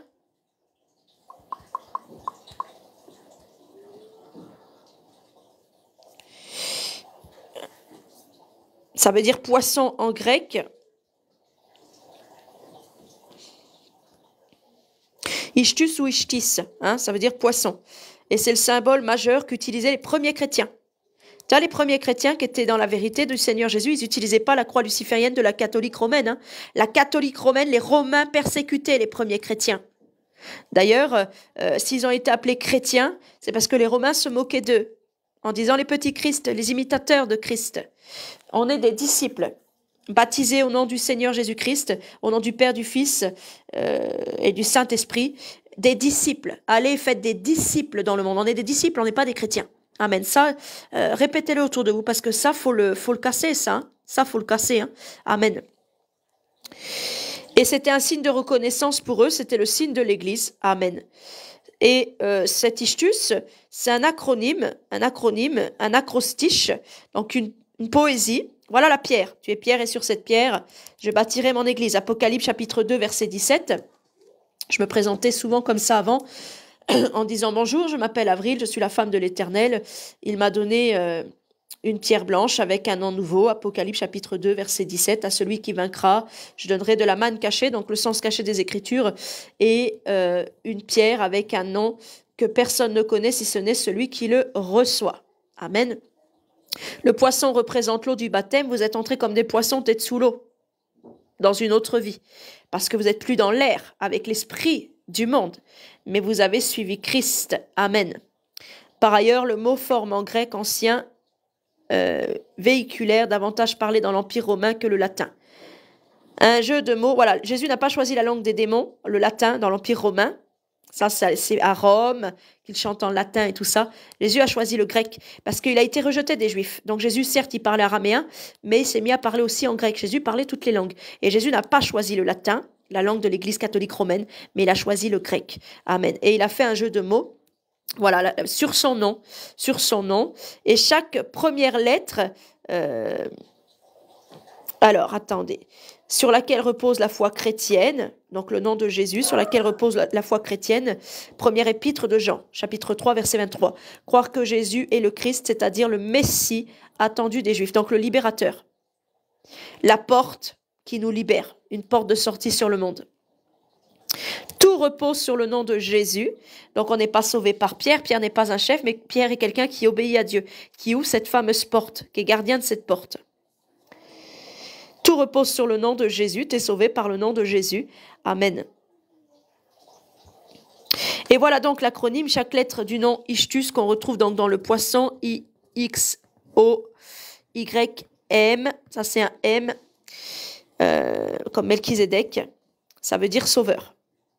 L'éternel des armées, le sauveur, le seul rédempteur, il est Melchizedek. Yeshua, c'est le Fils de Dieu. Ça, c'est la porte, donc c'est Dieu. Mais c'est aussi l'œil de Dieu, avec la pupille. Vous entrerez, euh, Dieu faut qu'il vous examine avant d'entrer dans le royaume de Dieu, ni, adul- ni adultère, ni efféminé, ni idolâtre, dans le royaume des cieux. C'est vraiment, euh, il y a beaucoup d'appelés mais peu d'élus. C'est vraiment les élus. Alors déjà, faut déjà la trouver la porte. Moi, sans Jésus, je l'aurais pas trouvée. J'aurais jamais su tout ça. Amen. Mais c'est vraiment les élus qui peuvent entrer dedans. Amen. Sinon, non. Et euh, ça, là, c'est la fameuse neuvième heure. Donc chaque soir, ben, on va à l'église cachée, dans la chambre, dans le secret à 9 heures, parce que c'est l'heure des parfums, c'est l'heure où Jésus-Christ a donné sa vie euh, afin qu'on n'ait plus l'odeur de mort et du péché sur nous, mais la bonne odeur de l'agneau. Donc qu'on puisse monter, qu'on puisse entrer dans le dans le dans l'église, le corps de Christ. Euh, vous serez en moi et je serai en vous. Amen. Donc lui, il est en nous, on mange son corps et son sang, mais on entre aussi en lui dans l'Ichtus. Amen. Et euh, ça, c'est l'œil du Père, parce que dans le Fils, le Fils, il y a le Père. Et ça, c'est l'œil du Père qui voit tout et qui, euh, qui va te scruter, qui va euh, t'examiner. Et si tu es une belle perle qui a du prix à ses yeux, si tu as du prix aux yeux de Dieu, la porte, elle s'ouvrira. Elle s'ouvrira qu'à condition que tu te mettes en tête en bas, que tu sois la clé, la clé de fidélité, de paix, de lumière, de miséricorde, que tu sois une image de Jésus-Christ.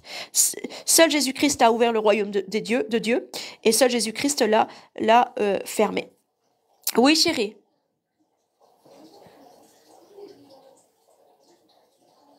Je dois leur donner?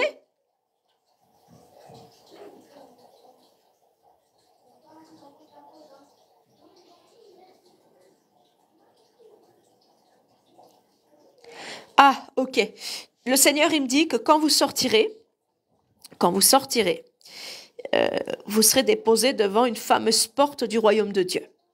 Et cette porte ne s'ouvre qu'avec un mot de passe. Et là, on est en train de rire.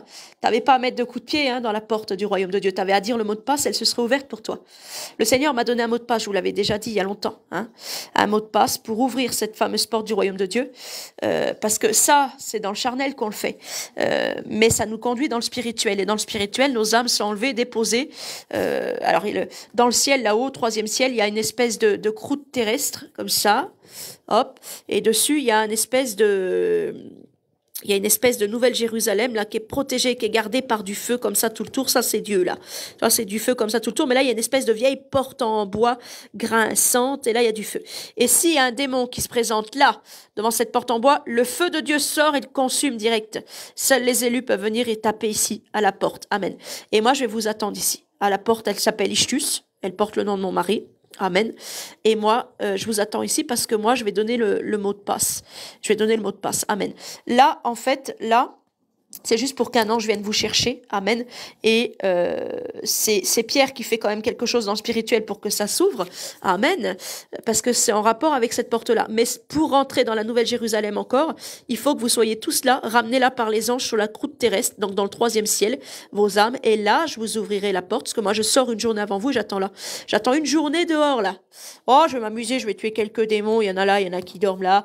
Il y a des fois, là, il y a des étoiles en bas, je descendrai. Là en bas, quand tu descends encore, il y a une espèce de grand océan et il y a le Seigneur dedans comme une grosse pierre, comme un gros rocher. Les poils de son dos, c'est de l'herbe. oh, je tuerai quelques démons sur le passage. non, non, non, non, sans blague.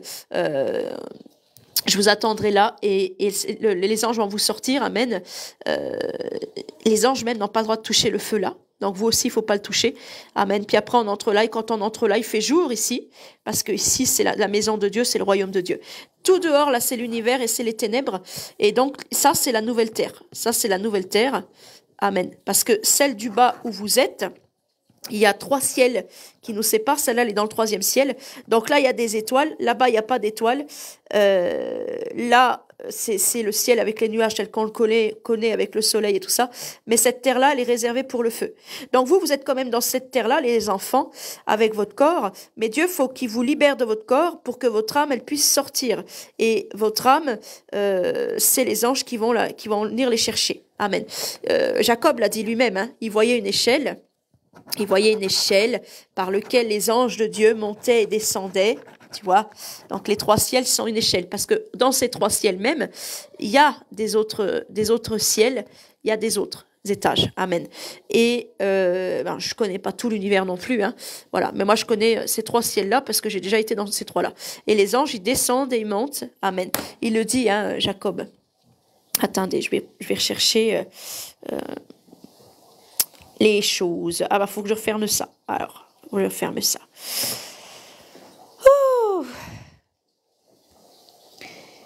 Les anges du ciel montaient et descendaient, verset biblique.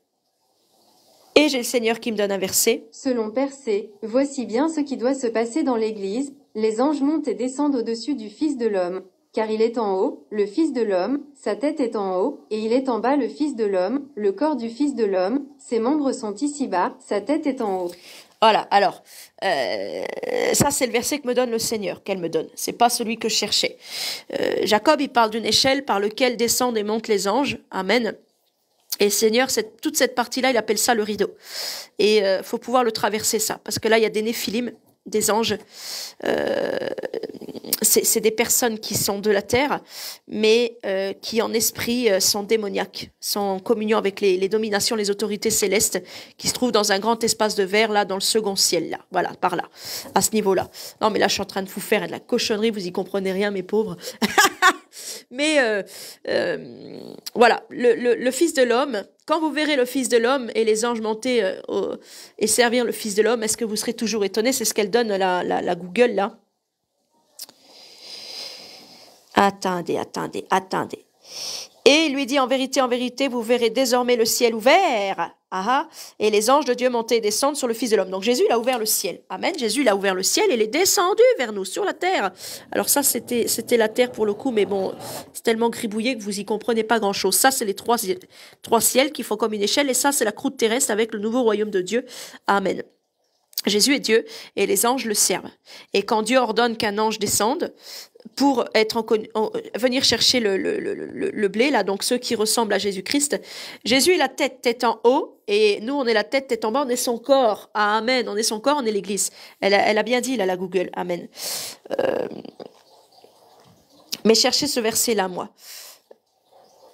Voilà, sa tête est en haut et il est en bas le Fils de l'homme parce que le, nous, on est son corps, mais on est resté sur la terre là et on doit passer des ténèbres, la terre, à son admirable lumière. On est dans la vallée de l'ombre, la mort, le monde et euh, tant qu'on est dans tant qu'on est dans ce monde, tant qu'on est loin de Dieu. Amen. Jacob eut un songe. Amen. Et voici une échelle était appuyée sur la terre. Donc tu vois, bon, j'ai mal mis ma terre. Alors elle elle est pas bien en dessous ma terre, mais voilà. C'est le ciel. Le premier ciel se couche sur la terre, sur toute la terre. Amen. Ce premier ciel même sera ébranlé. Amen. À l'avènement du Seigneur. Donc cette, échelle, elle descend et les anges descendent. Euh, voilà. Et voici une échelle appuyée sur la terre et son sommet touché au ciel. Et voici les anges de Dieu montaient et descendaient par cette échelle. Et toi, t'es quoi? T'es quoi quand tu, ressembles à ça? Fidèle, paix, lumineux, miséricordieux, obéissant, évan- évangile, humilité, vérité. Ben, t'es le chrisme. Donc t'es un ange de Dieu. T'es le corps de Dieu. Tu ressembles à, à Jésus-Christ. Donc t'es T'es une image de Jésus-Christ, l'ange, le numéro un qui gouverne tous les anges au ciel. Amen. Donc tous les anges, enfin tous les anges, certains anges te servent, Amen, vont te servir parce qu'ils vont te monter vers le Seigneur sur la croûte terrestre. Et si tu es un ange, tu vas pas rester dans les ténèbres. Euh, là, là, c'est cette terre-là, elle est réservée pour la colère de Dieu. Donc, euh, nous, on échappe à la tribulation et tout ça, tu vois. Donc, si tu es un ange, ta place, elle est là-haut, là. Faut y aller, faut partir, faut entrer. Amen. Donc, faites bien les prières que le Seigneur vous donne et faites bien euh, toutes choses. Amen.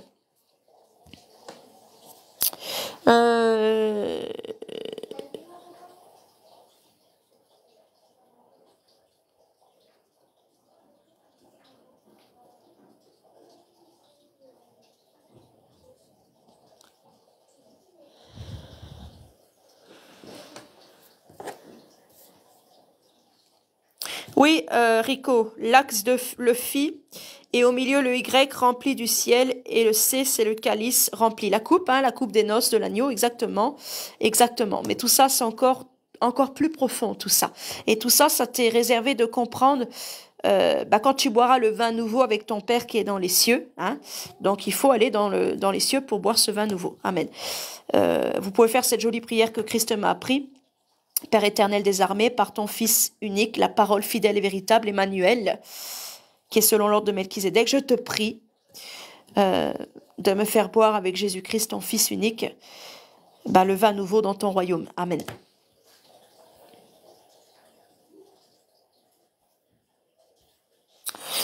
Donc, euh, qu'est-ce que j'avais à dire Ah, ah. Bah, Je crois que c'est tout. Hein.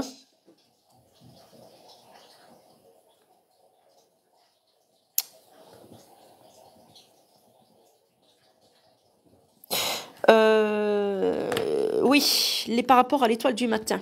Amen. Te voilà tombé, astre brillant, fils de l'aurore, étoile du matin, verset biblique. Selon Bible.com, te voilà Ta tombé ta ta ta ta, c'est moi. Tiens, ça recommence. Ésaïe chapitre 14 verset 12, te voilà tombé du ciel, astre brillant, fils de l'aurore, tu as battu à terre, toi le vainqueur des nations. Donc là, ça parle du diable. Amen. Le diable avait vaincu toutes les nations puisque la mère de toutes les nations, Ève, s'est soumise au diable. Donc elle a soumis tous ses enfants, tout son foyer. Et Satan était une étoile même. Il était un fils de l'aurore, un fils du matin, car Dieu, l'aurore, ben, c'est la lumière du monde, c'est le commencement du jour, du matin. Amen, de la lumière. Amen. Il y a 12 heures au jour, 12 heures à la nuit. Amen. D'ailleurs, euh, euh, dans l'Ichtus, comme ça, on a la neuvième heure en, en, en, romain, là, mais on a aussi un réveil qui est sur 9h15. Amen. Parce qu'il y a 9 heures au jour et 9 heures, euh, 9 heures au jour. Il y a 12 heures au jour et 12 heures à la nuit. Oh là là, j'allais faire des journées de 18 heures, moi. Oh là là. Catastrophe. Non, des, des journées en 24 heures. et donc, les, les fils de Dieu, les anges qui descendent et qui montent par l'échelle, par les cieux, euh, et qui viennent sur terre pour enlever la Sainte Église, euh, la véritable Église, hein, donc qui n'est pas une Église de pierre, une secte et une religion, Amen, mais qui est bien l'épouse de Christ, son corps, euh, bah, sont des astres. Eux qui ne sont pas tombés, comme Jésus-Christ, son étoile à Bethléem Ephrata n'est pas tombée. Donc euh, l'astre brillant, le fils de l'aurore, c'est le diable. Et il y en a beaucoup qui confondent l'étoile du matin et l'astre brillant, Satan, et qui font de la personne de Jésus-Christ le diable. Moi-même, je l'ai fait, d'accord? Je ne jette pas la pierre parce qu'on peut faire cette erreur. Euh, mais Jésus-Christ n'est pas le diable parce que son étoile n'est jamais tombée. Amen. Euh, par contre, vous pouvez voir son étoile clignoter le matin très tôt. Amen. Et puis demander à être enlevé, à entrer dans la porte étroite et resserrée. Vous pouvez, euh, vous pouvez faire le test chaque jour si vous le voulez. hein. Amen. Vous n'êtes pas obligé d'attendre un jour en particulier. Malheur à ceux qui attendent le jour de l'éternel. hein. S'il a donné l'ordre d'entrer, c'est qu'on peut entrer hein, dans, le, dans le royaume de Dieu. Moi, je suis sortie, j'ai fait, fait une sortie, euh, deux sorties. J'ai fait deux sorties, mais je suis revenue parce que le Seigneur m'a donné l'ordre de revenir. Mais j'avais pas envie de revenir. J'avais pas du tout envie de revenir. Et puis, euh, malgré que je suis une servante qui a reçu beaucoup de choses, j'ai tendance à être une servante un peu oublieuse parce que bah, j'ai des problèmes de mémoire. Je vous ai dit, quand j'ai été dans le, euh, à cette fameuse porte du royaume et puis qu'elle s'est pas ouverte, j'ai mis des coups de pied dedans. Et euh, bah, tu mets pas des coups de pied dedans parce que c'est la porte des brebis, c'est Dieu, donc ça craint. Euh, alors qu'elle aurait très bien pu s'ouvrir si je m'étais souvenu à ce moment-là du mot de passe. Et puis, ouais, je l'ai le mot de passe. Ouais, je l'ai toujours, je m'en souviens. Voilà. Donc, faut pas confondre euh, le diable avec Dieu. Amen. Jésus est l'étoile du matin. Il est même l'étoile brillante du matin parce qu'il a repris à Satan tout le pouvoir qu'il avait volé à Ève, à l'épouse hein, de Dieu, de, du premier Adam, hein, qui était à l'image de Dieu. Amen. Et Jésus est le nouvel Adam. Donc, il a repris tout pouvoir, toute autorité. Amen. Et euh, bah, Jésus va faire lever dans nos cœurs euh, bah, l'étoile du matin. Amen. Et c'est ce qui nous permettra d'être, euh, quand on aura le chrisme, voilà, lumière, d'avoir le médiateur lumière, un médiateur lumière, donc un ange envoyé de Dieu, un ange qui fait qu'une seule chair avec Dieu, qu'un seul corps, et qui va nous élever, qui va nous donner la puissance de monter jusqu'au ciel. Moi, j'ai pas eu besoin d'un ange pour y aller, mais je me suis quand même connectée à un ange parce qu'un ange doit me, doit m'emmener. Amen. Euh, mais j'ai pu y aller de moi-même parce que j'avais, euh, j'avais des étoiles, j'avais des étoiles, j'avais, j'avais des ailes d'aigle pour m'en- m'en- m'envoler parmi les étoiles, amen. Et j'avais des toutes petites ailes. Au début, c'était même pas des ailes d'aigle, c'était des ailes de feu par la puissance du Saint-Esprit. Des toutes petites ailes. euh, Voilà, amen. J'ai fait deux sorties. Gloire au Seigneur.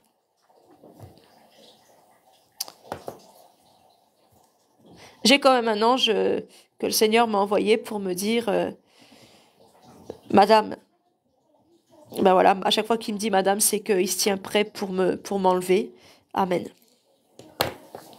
Donc on va continuer le temps d'étude, les amis, parce que c'est important. Donc des montagnes entourent Jérusalem, des montagnes entourent Jérusalem, ainsi l'Éternel entoure son peuple. Amen. C'est vrai, euh, Jérusalem, il y a des montagnes autour de Jérusalem terrestres, et euh, dans les cieux, il y a un espèce de grand feu qui entoure toute la, cette nouvelle croûte terrestre, cette nouvelle Jérusalem. C'est le feu protecteur de l'époux, donc de Dieu. Amen, le Saint-Esprit. Et heureusement hein, qu'il nous protège parce qu'il y a les autorités, les dominations, euh, donc nos ennemis dans les lieux célestes. Il y a une espèce de, de, de vilain serpent avec une tête de dragon qui se cache. Et euh, si vous avez pas, euh, si vous avez craqué toute la puissance du Saint-Esprit qui est en vous, ou vous faites une seule erreur, là il sort. Là il sort. Et puis moi il m'a pris une jambe. Ouais, il m'a pris une jambe et il m'a, euh, il l'a pas dévoré, mais il l'a pris dans sa gueule et il m'a tiré tout en bas, en bas dans les, dans des ténèbres, euh, dans des ténèbres horribles. Et je suis remontée tout doucement, c'est comme de la colle à papier peint, là, lentement, lentement, parce que c'était d'une épaisseur incroyable. Je suis remontée parce que le Saint-Esprit m'a appelé. Et j'appartiens au Saint-Esprit, donc je peux pas être dérobée comme ça euh, des yeux de Dieu. Amen. Mais euh, cette bête-là, il a essayé, hein, ce Léviathan, il a essayé de, m'engloutir euh, dans des profondeurs euh, sales. Et euh, je voyais des montagnes, des montagnes avec des têtes de porc. Et au milieu, il y avait un lac et il y avait des cris là-dedans. Il y avait, j'ai vu plein de trucs en remontant tout doucement, tout doucement. C'était incroyable. et je suis remontée comme si j'étais, comme si j'étais morte, comme si mon corps était inerte. Mais euh, j'ai vu quand même des choses incroyables. Amen. Le sceptre de la méchanceté ne restera pas sur le lot des justes. Donc ici, qui domine? Qui domine sur terre euh, La terre, c'est Jésus-Christ qui domine. Il a tout pouvoir, toute autorité. Jésus a vaincu le monde et euh, Jésus nous demande même d'obéir aux, autorités du monde parce que les autorités du monde, enfin obéir, non, les respecter, c'est ça qu'il entend par là. Parce que le jour où le monde te demandera de mettre la puce RFID, il bah, faudra pas accepter justement. Hein. D'abord, on doit aller, euh, doit pas aller dans le même sens que le monde. Le monde va à la perdition, mais nous, on doit aller à contre, à contre-courant comme des poissons. Excusez-moi. Et euh, le monde se prépare à accueillir un antéchrist. Le monde est ennemi de Dieu, le monde est dans les ténèbres. D'accord? Euh, Cependant, Jésus a, vaincu le diable et l'antéchrist, c'est une émanation du diable. C'est un fils du diable qui possède des corps et qui, euh, qui veut un nouvel ordre mondial. Voilà. Mais il n'y a que quand toute l'Église sera enlevée que le nouvel ordre mondial de l'antéchrist pourra être là. Voilà. Mais il pourra être là, mais Dieu va donner à l'antéchrist finalement. L'antéchrist aura ce qu'il veut le nouvel ordre mondial, mais il n'aura pas le temps de l'établir comme il le veut, parce qu'aussi vite le Seigneur va venir et puis va le défoncer et lui arracher l'empire des mains. Parce que Dieu euh, aime bien te satisfaire. Euh, tout mal concourt au bien des justes, mais tout bien euh, concourt au mal de ceux qui sont injustes. Je vais te dire, Amen. le diable voulait Jésus sur la croix.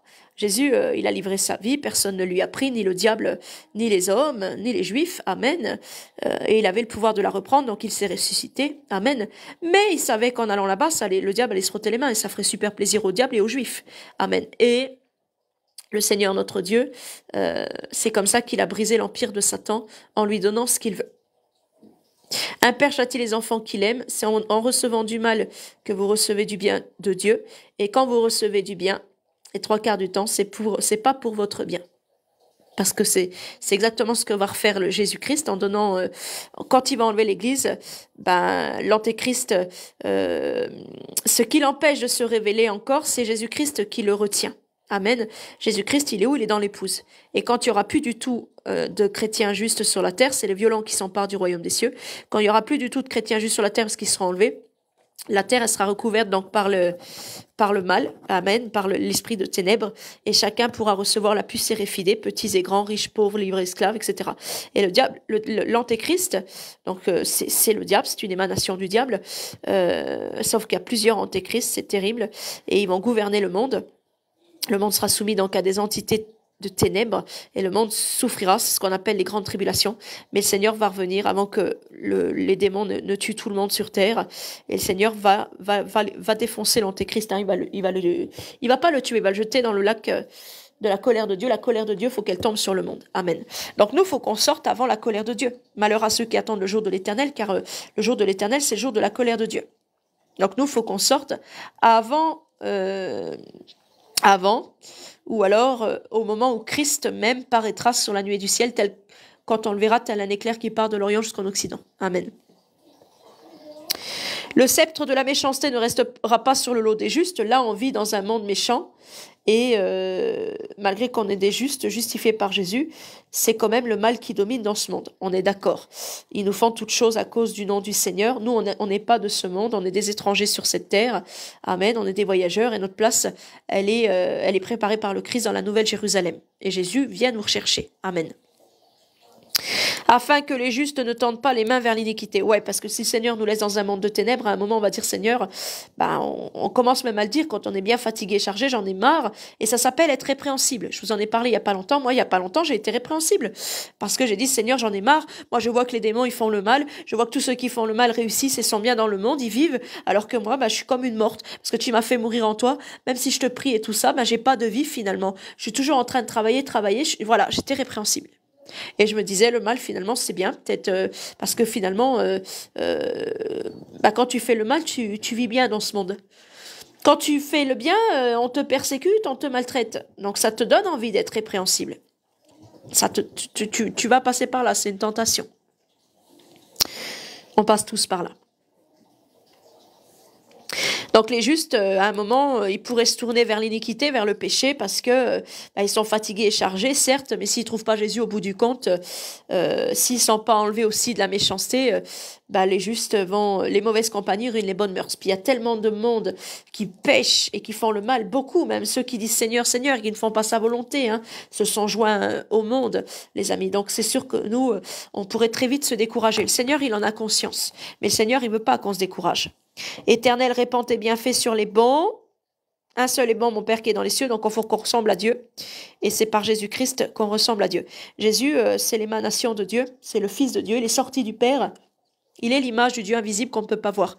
Et nous, on doit être des images de Jésus-Christ. Amen. L'image parfaite de Dieu. Jésus est le nouvel Adam. Hein. Amen. Répand tes bienfaits sur les bons et sur ceux dont le cœur est droit. Donc, faut être bon et être droit pour recevoir les bienfaits du Seigneur. Et les bienfaits du Seigneur, c'est les vertus du Saint-Esprit, euh, c'est la robe des noces de l'agneau, euh, c'est l'évangile, c'est la foi, c'est tout ce que vous avez besoin en fait. Mais ceux qui s'engagent dans des voies détournées, donc sur le chemin de la perdition, que l'Éternel les détruise avec ceux qui font le mal, que la paix soit sur Israël. Ceux qui s'engagent dans des voies détournées, ça veut dire que il n'y a qu'une voie, c'est le chemin, la vérité de Christ. Mais eux, ils faussent la vérité en se donnant des foules de docteurs et de pasteurs, en faisant des hommes leurs enseignants. Voilà. Donc, du coup, ils s'engagent en des voies détournées et ils se retrouveront avec ceux qui font le mal sur le chemin de la perdition. Ils seront détruits. Amen. Que la paix soit sur Israël. Vous êtes Israël parce que Jésus-Christ, c'est Jacob. C'est celui sur qui les anges descendent par l'échelle. Amen. C'est le Fils de Dieu, le nouvel Adam la nouvelle Jérusalem, avec les douze tribus et les fameuses douze portes, les apôtres. Amen. Allez, on va faire le deuxième temps d'étude parce que là, c'était que le, psaume 125. Euh, alors ça, je peux d'ores et déjà le fermer. Ça aussi, ça aussi. Euh,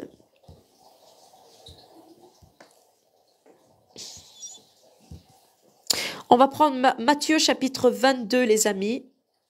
Rendez donc à César ce qui est à César et à Dieu ce qui est à Dieu.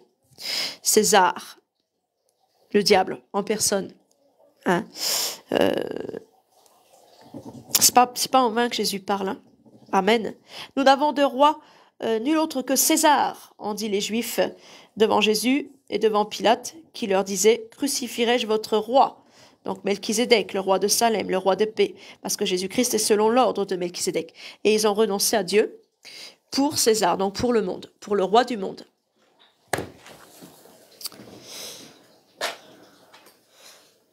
Je vais poser le téléphone et euh, je vais changer la photo. Je vais remettre celle-là parce que je l'aime bien.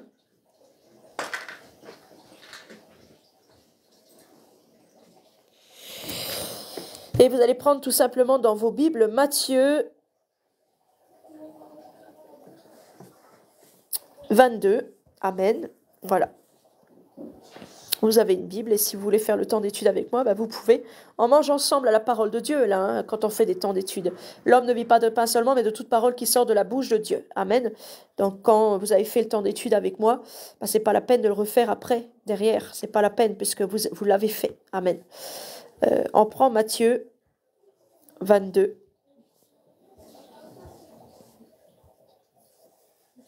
Jésus prenant la parole leur parla de nouveau en parabole et, il dit Le royaume des cieux est semblable à un roi qui fit des noces pour son fils. Donc les noces de l'agneau. Amen. Melchizedek fait des noces pour Jésus-Christ qui est selon l'ordre de Melchizedek son fils. Le roi se marie. Le roi prend épouse. Une nouvelle épouse. Amen. Il envoya ses serviteurs, donc les anges, appeler ceux qui étaient invités aux noces. Il a envoyé les prophètes. Il a envoyé, les prophètes étaient des anges, hein, Amen. Il a envoyé son propre fils, le Messie, le plus grand de tous les anges, l'archange Michael, Amen. Et Michael a envoyé des apôtres, donc des anges. Les douze apôtres sont des anges que Dieu lui-même a placés dans le sein de leur mère, parce qu'ils étaient destinés à servir Dieu en tant qu'apôtres. Il les a envoyés à qui? Aux brebis perdues d'Israël, donc aux Juifs. Mais après, euh, les Juifs sont dispersés dans le monde entier. Donc Jésus a prêché l'Évangile dans le monde entier. Cependant, les Juifs de Jérusalem et euh, d'ailleurs aussi hein, de la Galilée, euh, des Juifs de, pas mal d'endroits, ont renié en renié Jésus, même Paul, hein, qui, euh, qui, combattait l'Église des chrétiens, euh, enfin des disciples de Jésus, il combattait l'Église. Pourtant, euh, Paul, c'était un, il était, il était né à Rome. C'était un juif, de, de sang juif, mais il était né à Rome. Amen. Et il avait combattu l'Église et Jésus l'a, lui a rendu selon ses œuvres. Amen. Sans attendre le jugement dernier parce que Paul, euh, Paul devait servir le Seigneur. Donc les Juifs n'étaient pas dignes d'entrer dans le royaume de Dieu parce qu'au moment où le Messie les visite, ben, ils ne correspondent pas du tout euh, aux critères qu'il faut avoir pour entrer dans le royaume de Dieu. Il faut passer un peu euh, comme une voiture qui passe au contrôle technique, il faut qu'elle corresponde à certains critères pour avoir le contrôle technique. Et là, pour être un élu de Dieu, il ben, faut être fidèle, euh, faut être comme le véritable, à l'image du véritable, donc de Dieu. faut avoir la paix, la lumière, la miséricorde, l'obéissance, l'évangile dans le cœur, l'humilité, etc., etc., la vérité, etc., etc. Voilà, il y a, c'est le chrisme. Amen. Il faut être totalement comme Jésus-Christ. Donc il envoya ses serviteurs appeler ceux qui étaient invités aux noces, mais ils ne, ils ne voulurent pas venir. Ils ne sont pas venus à la lumière parce que leurs œuvres étaient mauvaises. Ils ont reconnu César comme leur roi et euh, ils ont mis à mort le Messie. Et pas que le Messie, hein, aussi les prophètes. Donc Jésus, il a envoyé son, évangile dans le monde entier parce qu'il y a d'autres juifs dans le monde entier et euh, Jésus ne mettra pas dehors ceux qui viennent à lui. Donc il y a aussi les païens. Amen. Puis le, païen, euh, quand il est circoncis de cœur, il n'est plus un païen, il est un juif, parce que euh, il fait qu'une seule chair avec le corps de Christ. Il est un membre du corps de Christ et Jésus est juif. Amen. Il envoya encore d'autres serviteurs en disant Dites aux conviés, dites aux juifs, voici j'ai préparé mon festin, mes bœufs et mes bêtes grasses sont tués. Tout est prêt, venez aux noces. Moi, il y a longtemps qu'il m'a dit J'ai tué les bêtes, tout infâme tout est prêt pour qu'on fasse la fête, qu'on se marie. Amen. Euh, voilà. À croire que depuis le temps, bah, ça ne périt pas, ça périme pas. Là-haut, c'est très très différent. Il n'y a pas de souillure comme sur Terre. La nourriture se garde. Euh, voilà, c'est pas. Euh, c'est pas comme. Et, il me dit aussi, il, il, fera tuer aussi des bêtes, il fera tuer l'antéchrist, tout ça pour célébrer aussi ses noces avec l'épouse. Amen. La tête du serpent écrasée, tout ça. C'est aussi des bêtes qui fera tuer. Amen. Pour, euh, pour la fête. Amen. Hein? El Matador, Avril. Ah ouais, El Matador, je me souviens de ça. J'avais fait un, live là-dessus à un moment. Jésus-Christ, c'est El, El, ça veut dire Dieu, Matador. Celui qui, euh, qui, euh, qui a marché sur le veau d'or, sur l'idol- l'idolâtrie des Juifs et euh, sur l'idolâtrie du monde, sur le diable, la bête, le cornu. Hein, voilà, Amen, c'est El Matador. Il fera tuer les bêtes et il y aura une grosse fête. Amen. Il fera tuer les bêtes, les bêtes, l'antéchrist, tout ça. Et il y aura une énorme, une énorme fête euh, pour les noces de l'agneau. Amen. Et vous êtes donc les invités aux noces. Donc euh, celui qui garde les commandements du Seigneur n'est pas son épouse, il fait partie de l'épouse, mais il est l'ami de Dieu. Vous êtes les amis de Dieu, c'est pas vous, c'est pas avec vous qui va se marier, c'est avec moi. Mais euh, on se marie pas en fait parce que on célèbre nos noces, parce qu'il y a longtemps qu'il m'a épousé en esprit. Il y a longtemps qu'il m'a épousé en esprit et qu'il m'a fait des enfants dans mon nouveau corps là-haut. Amen. D'ailleurs, je parlais à mon fils Nemo euh, ce matin et euh, et je crois que j'ai eu une réponse. Amen, j'ai eu une réponse. C'est fou, mais même si, euh, même si c'est des enfants, euh, on est connecté en esprit et on, on arrive à communiquer ensemble. Amen. On fait qu'un seul corps. Le royaume des cieux donc est semblable à un roi qui fit des noces pour son fils. Il envoya ses serviteurs appeler ceux qui étaient invités aux noces, mais ils ne voulurent pas venir. Il envoya d'autres serviteurs, donc les apôtres, en disant Dites aux conviés Voici, j'ai préparé mon festin. Mes bœufs et mes bêtes grasses sont tués, tout est prêt, venez aux noces. Donc là, il me remet bien qu'il a vaincu le diable, il a vaincu le monde, les serpents et les scorpions. Donc les bêtes, c'est comme si elles étaient déjà tuées, on peut les considérer. Mais il les, réserve quand même pour la fête. Amen. Il les a vaincus dans le spirituel, mais il réserve leur corps de chair, il réserve leur, euh, leurs esprits, euh, euh, parce qu'ils n'ont pas des corps à eux, physiques à eux. Hein, S'ils possèdent des corps, il les réserve pour la fête. Amen mais sans s'inquiéter de l'invitation. Donc, ils ne se sont pas inquiétés, ils ne se sont pas mis en peine de connaître Dieu. hein. Ils ont. euh, ils- ont fait passer Dieu. Dieu, c'était le cadet de leurs soucis, quoi. Puis, euh, c'était même pas un souci, ils n'en ont rien eu à faire. Ils n'ont pas eu d'oreille pour entendre. Sans s'inquiéter de l'invitation, ils s'en allèrent. Celui-ci à chanson, à son chant, pardon, celui-là à son trafic, et les autres se saisirent des serviteurs, les outragèrent et les tuèrent. Le Seigneur a envoyé à Jérusalem la vigne de Dieu, la vigne et la ville, la vigne qui devait porter des fruits et la ville sainte qui devait être sainte, mais qui était ténèbres finalement. Il a envoyé les prophètes, il a envoyé son fils et il a envoyé après le fils, il a envoyé les apôtres. Mais tous y ont trouvé la mort. Sauf Jean. Jean, le dernier apôtre, pas Jean le Baptiste, hein, parce que Jean le Baptiste, il a été décapité par Hérode. Le roi fut irrité, donc l'Éternel, Melchizedek, roi de Salem, fut irrité. Il envoya ses troupes, il fit périr ses meurtriers et brûla leur ville. Je vous avais déjà fait le témoignage. Le Seigneur m'avait dit, femme, quand tu verras Jérusalem brûler, relève la tête. Relève la tête, c'est qu'il est là, tel un éclair qui part de l'Orient jusqu'en Occident. Donc je sais que je sortirai pas, au moins, tant que cet événement-là ne sera pas arrivé. Amen. Et évidemment, quand Jérusalem brûlera, parce que Jérusalem, c'est la capitale du nouvel ordre mondial, faut le savoir, puisque c'est la ville des Juifs, les Juifs ashkénazis qui ont fait la franc-maçonnerie et qui ont pouvoir sur toutes les nations, parce qu'il y a des francs-maçons qui travaillent pour eux partout, les meilleurs des goïms qui méritent la mort. et euh, on est secrètement gouverné par des Juifs, parce que la franc-maçonnerie, c'est tout un rituel juif, c'est sur les rites de Salomon et tout ça. Donc c'est une pyramide juive. Et Jérusalem, c'est la capitale de la franc-maçonnerie, c'est la capitale du nouvel ordre mondial, de l'Union européenne, la bête sur laquelle la prostituée est assise.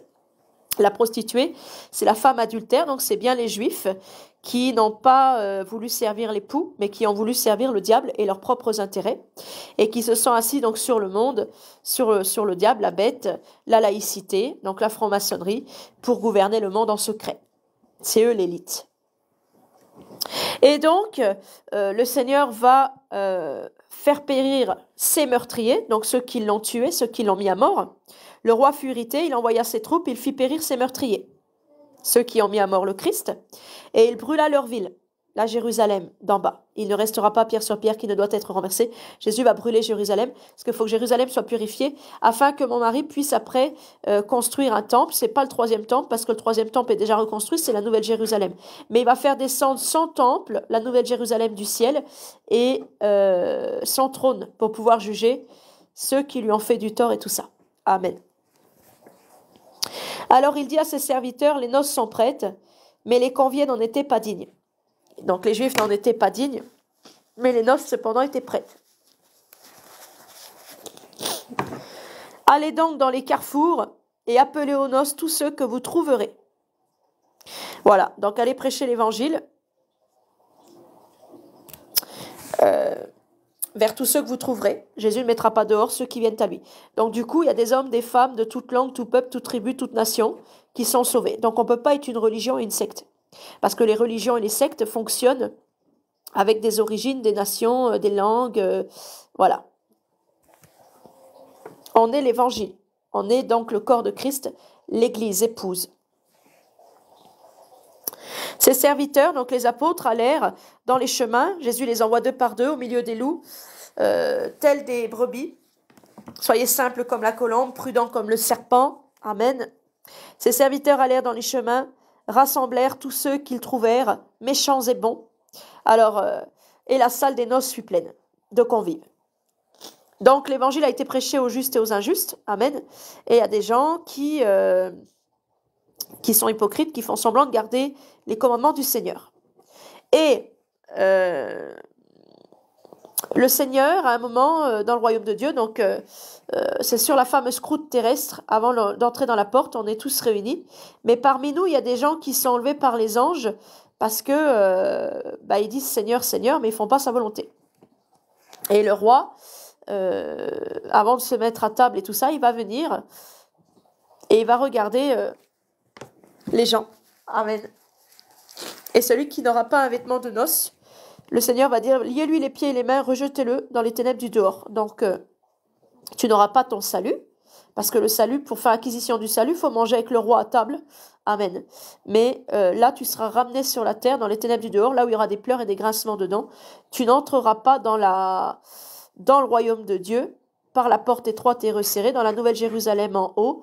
Voilà, les vierges folles, euh, bah, le Seigneur va fermer la porte en leur disant Je ne vous ai jamais connu, retirez-vous de moi, vous qui commettez l'iniquité. Et elles vont pleurer, hein, elles vont pleurer parce que le Seigneur ne les... Seigneur, laisse-nous entrer. Non, le Seigneur ne les laissera pas entrer. Amen.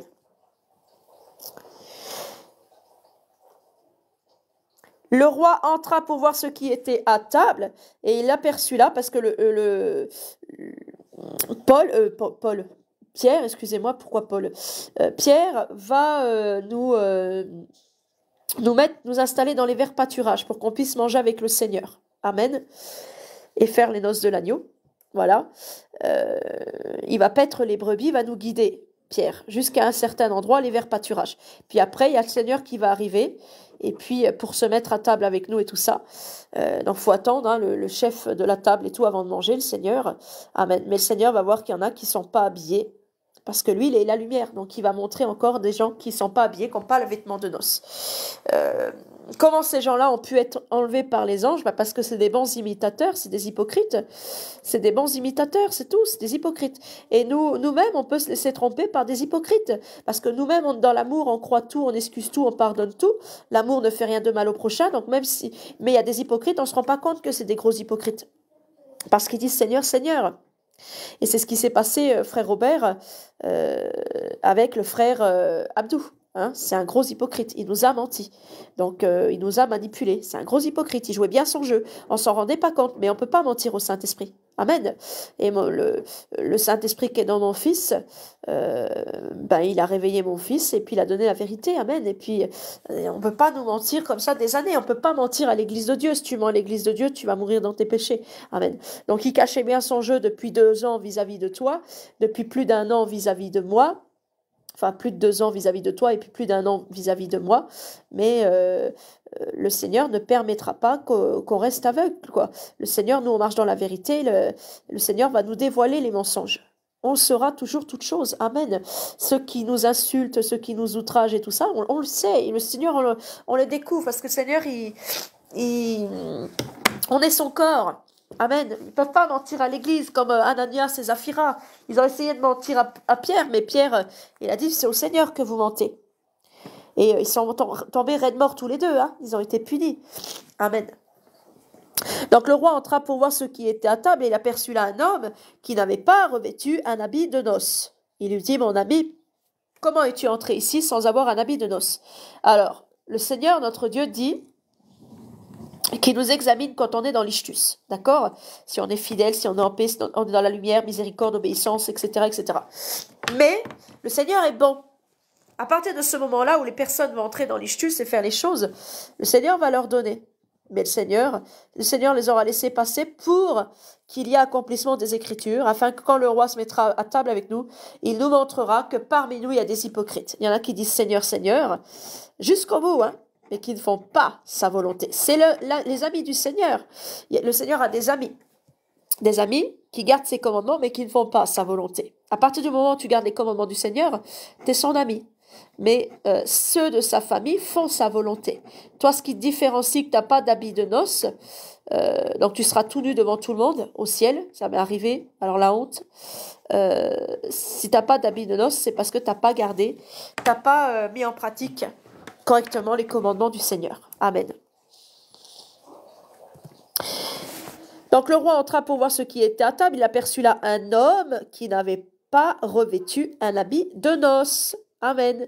Et il lui dit, mon ami, donc c'est quelqu'un qui garde ses commandements, comment es-tu entré ici sans avoir un habit de noces? Cet homme eut la bouche fermée, il ne sait pas quoi répondre au Seigneur.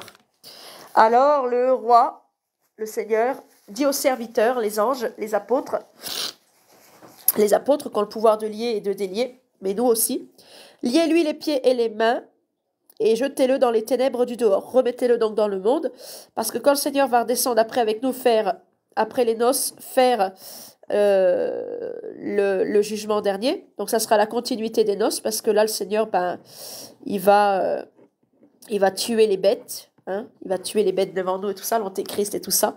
Amen. Pour dans la continuité de ces noces. Amen. Puis il revient reprendre la terre, parce que la terre, c'est euh, le cadeau, c'est mon étoile, mais c'est mon cadeau de mariage, en fait, ce qu'il m'a donné. C'est une espèce de maison.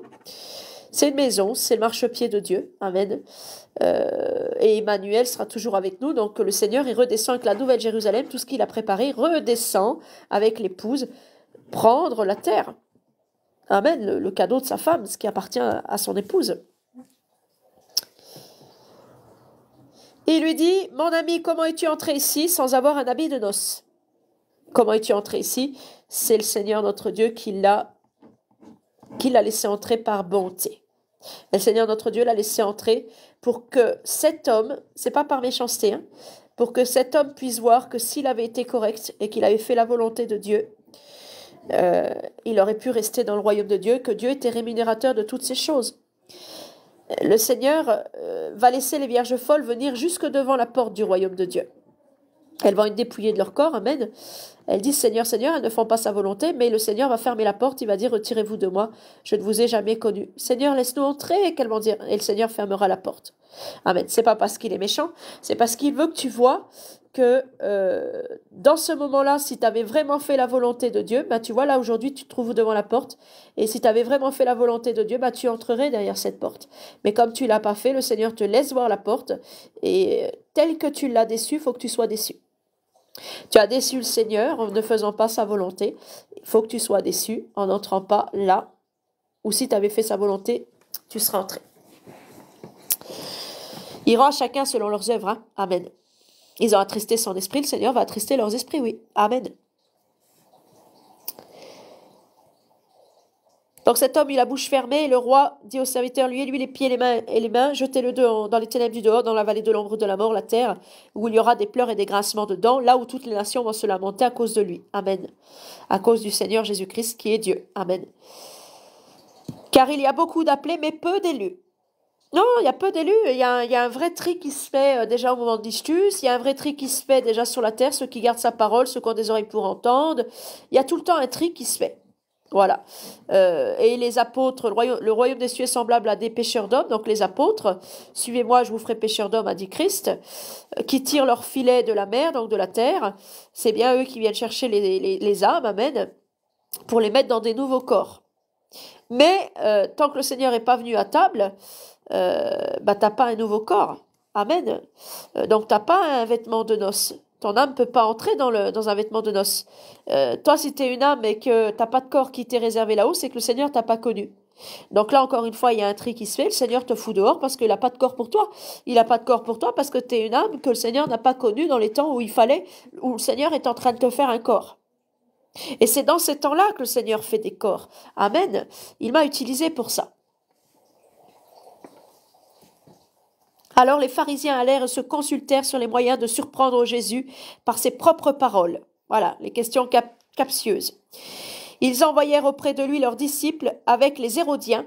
Donc, vous voyez, les Hérodiens, hein, euh, c'est pas très très juif tout ça. Mais voilà, ils s'associent avec le monde, ils marchent avec le monde. Un peu de levain dans la pâte fait lever toute la pâte. On ne doit pas marcher avec le monde, le monde nous rend ennemis de Dieu. Amen. Euh, n'aimez pas ce qu'il y a dans le monde, ne priez pas pour ce qu'il y a dans le monde, priez pour le royaume des cieux. Euh, je le disais à un frère euh, ce matin, je lui ai dit de, lire l'évangile, Amen. Et il m'a partagé après une, vidéo pour me montrer qu'il croyait en Dieu, une vidéo où il y avait des prières d'un faux pasteur qui priait bah, justement pour le monde, pour les choses, voilà, pour que Dieu te localise, tout ça. Et j'ai dit, mon frère, c'est pas ces prières-là qu'il faut faire. Tu, sinon, tu n'avanceras jamais. Il faut prier pour être un homme meilleur. Il faut prier pour que tu sois un homme à l'image de Jésus-Christ. C'est ces prières-là qu'il faut que tu fasses. Euh, amen. Donc, euh, j'espère de tout mon cœur que cet homme aura des oreilles pour entendre. Amen. Donc là, voilà. Ils marchaient avec le monde. Ils n'étaient pas spirituels, ils étaient charnels. On ne peut pas servir de maître. C'est soit tu sers le monde et tu es charnel, soit tu sers Jésus-Christ et tu es spirituel. Jésus est un esprit qui vivifie. C'est l'esprit de Dieu, le consolateur, l'esprit du Père. Et euh, toi-même, tu dois servir Dieu de tout ton cœur, ton âme, ton âme, ton esprit. Car Dieu est un esprit, il cherche des adorateurs en esprit et en vérité. Donc en esprit et avec l'évangile. Amen. Jésus est l'esprit de vie, la vérité. Il est le chemin, la vérité et la vie. Donc il est l'esprit qui donne la vie, l'esprit qui vivifie. Il est l'esprit du véritable, l'esprit du Très-Haut, du Père. Et eux, tu vois, bah, l'épouse, c'était une épouse adultère, euh, bah, eux, ils, vont chercher des Hérodiens, hein, des gens qui travaillent pour Hérode, pour un roi de la terre, qui, euh, est soumis même à César, hein, parce que Hérode est en dessous l'autorité de César. Et puis, euh, voilà, ils envoyèrent auprès de lui euh, leurs disciples avec les Hérodiens, qui dirent, Maître, nous savons que tu es vrai, les fauchetons, les hypocrites. Nous savons que tu es la vérité, ouais, et que tu enseignes la voie de Dieu. Ah bon? Selon la vérité. Tiens donc, sans t'inquiéter de personne. Donc sans faire euh, attention si celui-là c'est un riche, un pauvre, si celui-là a telle ou telle origine. Il ne met pas dehors celui qui vient à lui, Jésus. Amen. Il sauve de tout homme. Donc Jésus fait exception de personne. Car tu ne regardes pas l'apparence des hommes, ils le savent. Dis-nous donc, ce qu'il t'en semble, est-il permis ou non de payer le tribut à César? Les fauchetons. Et ils viennent avec les Hérodiens. Hérode, c'est un faucheton qui marche avec César, parce qu'il a César sert ses intérêts. Euh, et Hérode est sous l'emprise de César. Donc c'est un tout petit roi ridicule, mais pour pouvoir garder ses intérêts, euh, il obéit à César. César, c'est le diable. Hein. C'est comme Pharaon à l'époque des. Euh, il y a plusieurs antéchrists. Hein. Amen. C'est comme Pharaon à l'époque des Hébreux. Alors excusez-moi, j'ai mon rhume qui est revenu, c'est affreux. Oh, ça me saoule. Donc, euh, ils arrivent avec les Hérodiens pour arrêter Jésus, évidemment. Si Jésus dit, il faut pas payer le tribut à César, vous comprenez? Mais il euh, faut que ce sont des gens qui font la loi qui écoutent ça, mais pas ceux de César, parce que Jésus ne dira jamais ouvertement euh, devant des hommes de César qui font payer le tribut pour César, il faut pas payer le tribut à César. Il est pas bête, il va pas tomber dans ce piège aussi facilement. Donc faut amener des fauchetons qui respectent la loi de César, sans que Jésus se rende compte que ces fauchetons sont là. Donc les Hérodiens. C'est l'hypocrisie. Maître, nous savons que tu es vrai, voilà, et que tu enseignes la voie de Dieu. Il le savait. Ils sont pas sans péché, les amis. Amen. Faire mourir Jésus-Christ était un choix de leur part. Ils ont euh, choisi le mal. Tu ne dois pas tuer, dit Dieu, mais eux ont choisi de le faire. Tu ne regardes pas l'apparence des hommes, hein? tu enseignes la voie de Dieu, le chemin de Dieu, selon la vérité, sans t'inquiéter de personne, donc même de nous. Et nous, tu nous déranges.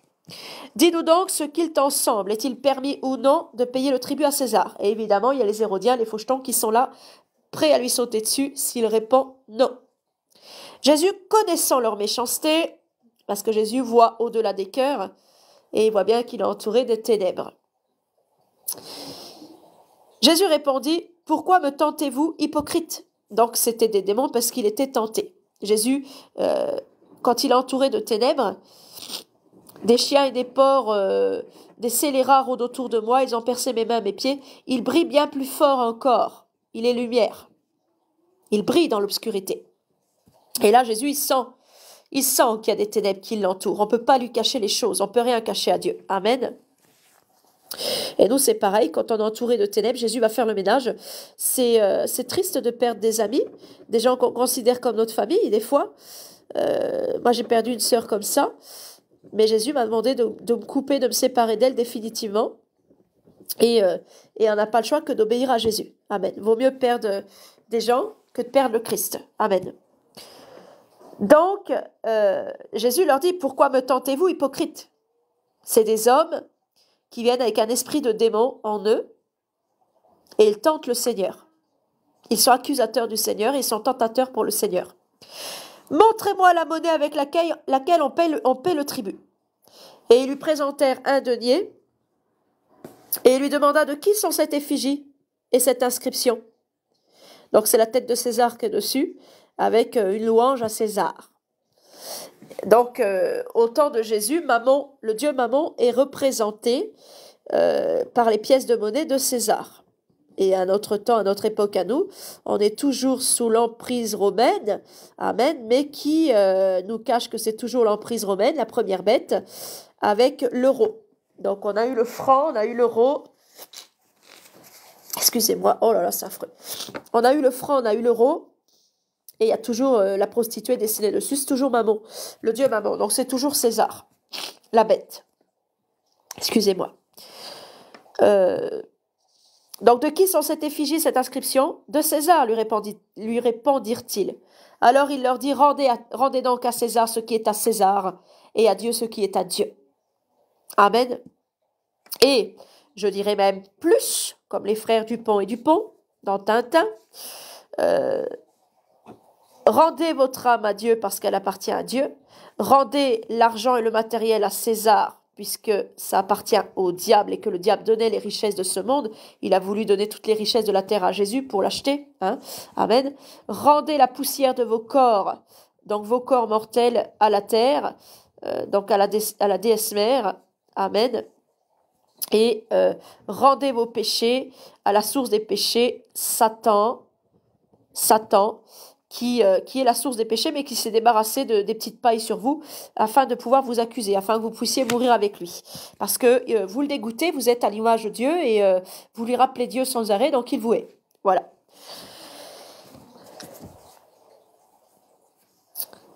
Et Jésus-Christ, c'est Dieu, donc rendez-lui votre âme. On peut servir Dieu que par l'âme. De toute façon, on adore Dieu de toute son âme, son cœur, sa pensée, ses forces.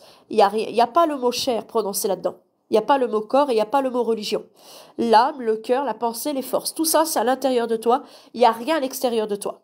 Donc pour servir Dieu, euh, ça ne sert à rien d'aller regarder en dehors de toi. faut chercher à l'intérieur. Cherchez, vous trouverez. C'est ce que tu dois trouver. Euh, demandez et on vous donnera. Donc parce que à l'intérieur de toi, ben, tu as tout ça, mais tout ça, ça ne suffit pas pour servir Dieu quand même. C'est avec quoi tu dois servir Dieu. Mais ça ne te suffit pas parce que tu dois avoir les fruits du Saint-Esprit, les valeurs de Dieu et tout ça. Donc demandez, vous trouverez, cherchez donc le royaume des cieux en haut. Amen. Et euh, frappez on vous ouvrira. Parce que euh, l'âme, elle est, c'est une émanation de Dieu. C'est Dieu ton Père qui t'a créé. Amen. Et euh, ton cœur, ta pensée, tes forces, tout ça, c'est pour Dieu. Tu vas servir Dieu. Mais Dieu va te donner aussi des choses pour que tu puisses entrer après en Dieu dans le, dans le royaume de Dieu. Amen. Faire acquisition d'un nouveau corps. Amen. Étonnés de ce qu'ils entendaient, ils le quittèrent et s'en allèrent. Ils devaient être dégoûtés parce qu'ils étaient venus pour l'arrêter. Et là, ça n'a pas marché. Rendez à César ce qui est à César. Jésus a été plus malin que le, les tentateurs, les antéchrists, les malins. Jésus a fermé la gueule des lions qui rôdaient autour de lui, comme dans la, dans la, la fosse au lion de Daniel. Amen. Et Jésus, à lui la colère, la vengeance et la rétribution, il fermera la gueule des lions qui rôdent aussi autour de vous, cherchant qui ils peuvent dévorer. Ils cherchent les élus, hein, parce qu'ils veulent dévorer les élus. Le diable veut arrêter les élus. Ceux qui sont déjà dans les ténèbres, euh, le diable leur fout la paix et les laisse tranquilles. On vous fait toutes ces choses à cause du nom de Jésus, parce que vous n'êtes pas du monde. Le même jour, les Sadducéens qui disent qu'il n'y a point de résurrection vinrent auprès de Jésus et lui firent cette question. Allez, puisqu'ils n'ont pas réussi avec les uns, ils vont continuer avec les autres. Le diable a toujours des ressources. Hein. Il envoie toujours des flèches, plein de flèches enflammées. Ses fils, ses antéchrists. Maître, Moïse a dit, si quelqu'un meurt sans enfant, son frère épousera sa veuve et suscitera une postérité à son frère.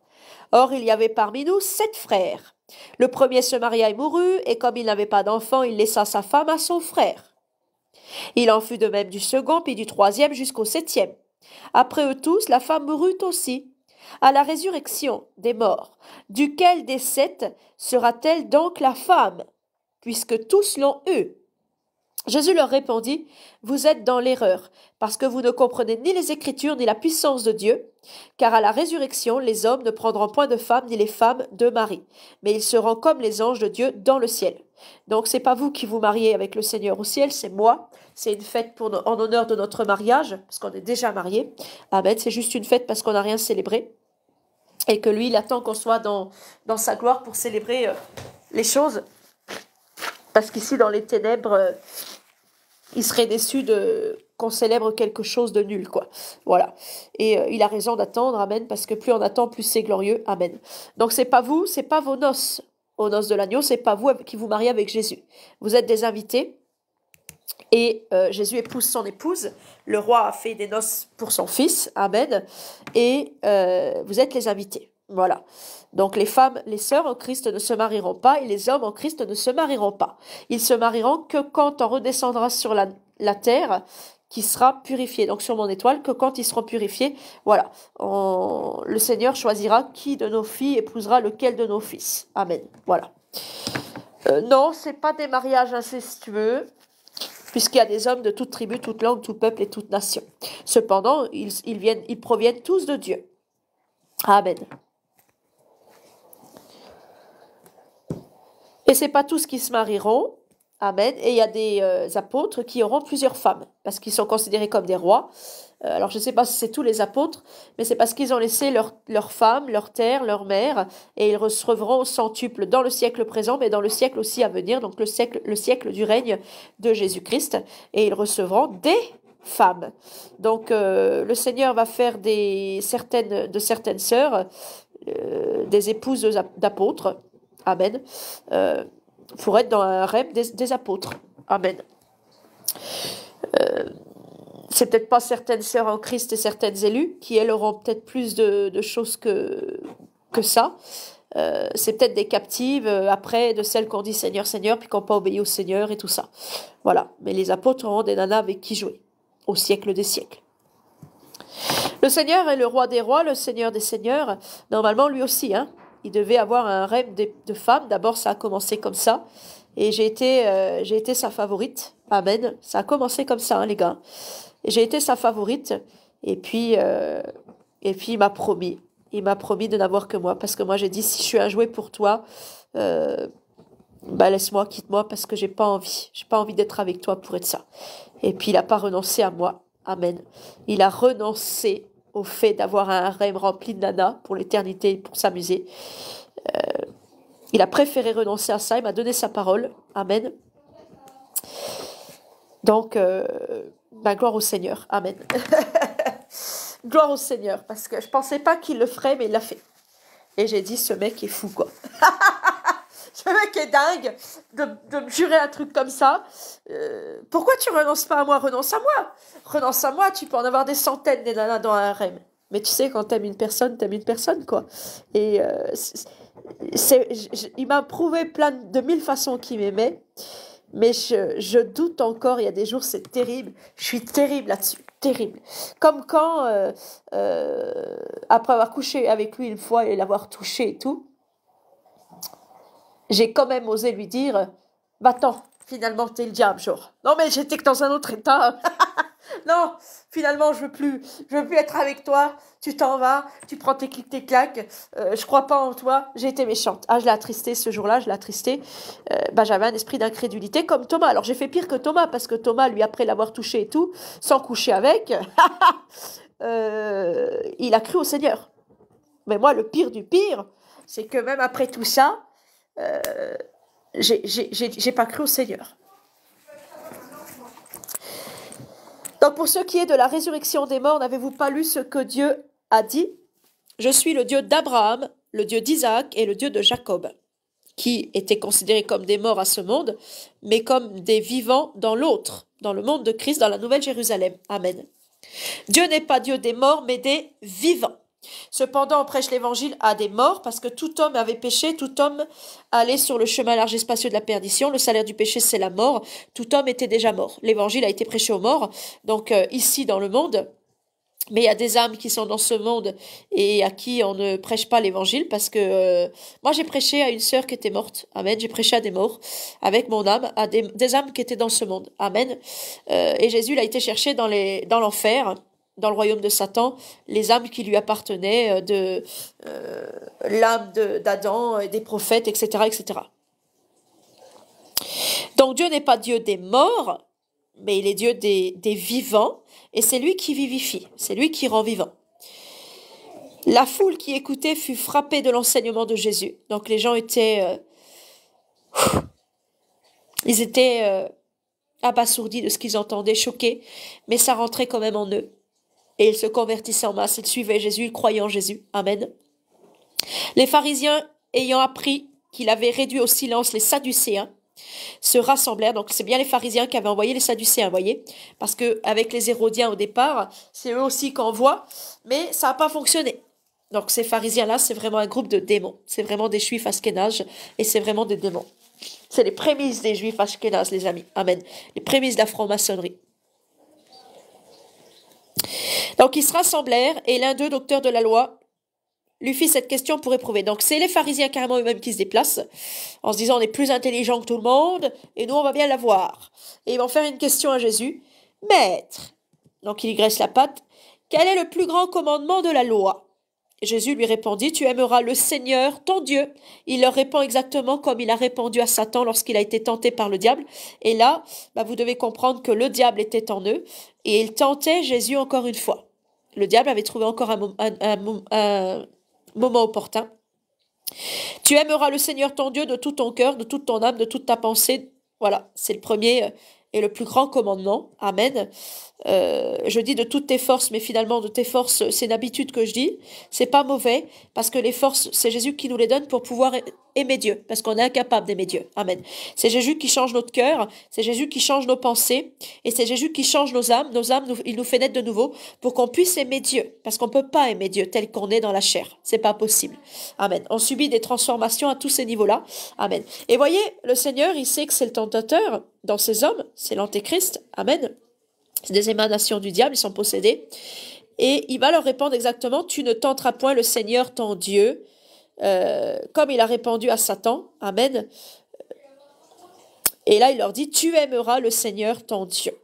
Amen. Donc, il rappelle exactement, il s'adresse à eux comme il s'adresse au diable, parce qu'il sait très bien qu'ils font ça par le, la puissance de l'esprit du démon qui est en eux. Donc, c'est le premier euh, et le plus grand des commandements. Et voici le second qui lui est semblable. Donc, s'il lui est semblable, c'est que si on devait les mettre sur un. Un- comment ça s'appelle? Là Je ne sais pas. Euh, si on devait si on euh, ils- S'ils sont, semblables, c'est qu'ils ils, ils se valent l'un l'autre. D'accord? Euh, Donc, c'est d'aimer son prochain, voilà, d'aimer son prochain comme soi- soi-même. c'est la loi royale, c'est la loi de Melchizedek, la loi du royaume des cieux. Aimer ton prochain, c'est parce que tu obéis au Seigneur.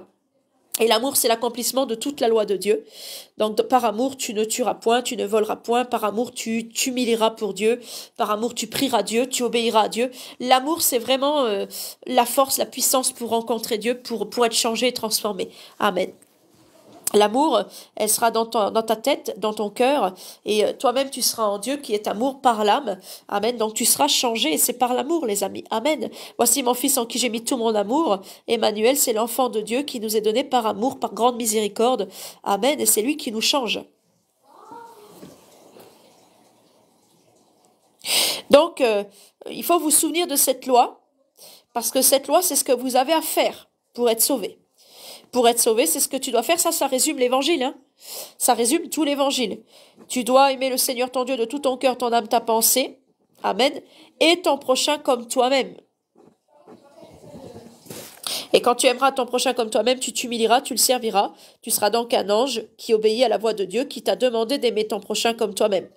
Donc tu seras bien un ange euh, par la pensée, euh, l'âme, le cœur, qui servira ton Seigneur. De ces deux commandements, qui ne sont qu'un, parce qu'ils sont semblables à l'autre, ils se valent, dépend toute la loi et les prophètes. Donc, euh, euh, Jésus, c'est l'amour euh, de Dieu manifesté, c'est Dieu manifesté pour nous, l'amour. Voici mon Fils en qui j'ai mis tout mon amour, Dieu est amour, Amen. Et il a accompli la loi et les prophètes. Et le fait d'obéir à Dieu, c'est aimer son prochain, donc ne plus rien faire de mal. Et si tu es dans l'amour, tu ne tueras point, tu ne voleras point, tu ne feras point de faux témoignages, tu garderas la vérité, tu obéiras à Dieu, etc. Donc tu accompliras forcément toutes choses si tu es un être d'amour, si tu un ange, si tu comme Dieu. Sinon, non. Comme les pharisiens étaient assemblés, Jésus les interrogea en disant Que pensez-vous du Christ? Il veut leur parler du Christ. Le Christ, c'est lui, c'est le libérateur, celui qui est semblable à Dieu. De qui est-il le Fils? Bah, de Dieu. Nous, on aurait tendance à répondre le Fils de Dieu. Amen. Mais eux, ils ont répondu le Fils de David. Pour eux, c'est un juif, le Messie, un juif de chair et de sang, qui fera des guerres sur la terre et qui euh, euh, fera de Jérusalem la capitale du monde et qui fera de Jérusalem euh, le seul lieu de culte et le seul euh, et qui fera du judaïsme le seul euh, la seule religion euh, mondiale et internationale mais où les juifs se se chargeront de, de qui a le droit de venir adorer Dieu et de qui n'a pas le droit. Donc évidemment, ils seront que le peuple élu entre eux et les goyim resteront dehors. Et s'ils sont la capitale du monde, ils pourront massacrer les goyim à leur guise et tout ça. Donc ce qu'ils sont en train de faire, ça s'appelle l'antéchrist. C'est le faux machiar. C'est ce qu'on voit déjà dans le monde. Amen. Euh, et c'est pas ce que veut Jésus-Christ.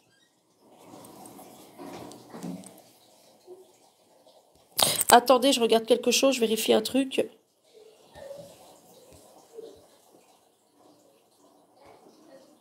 Parce que moi, chronologi- chronologiquement,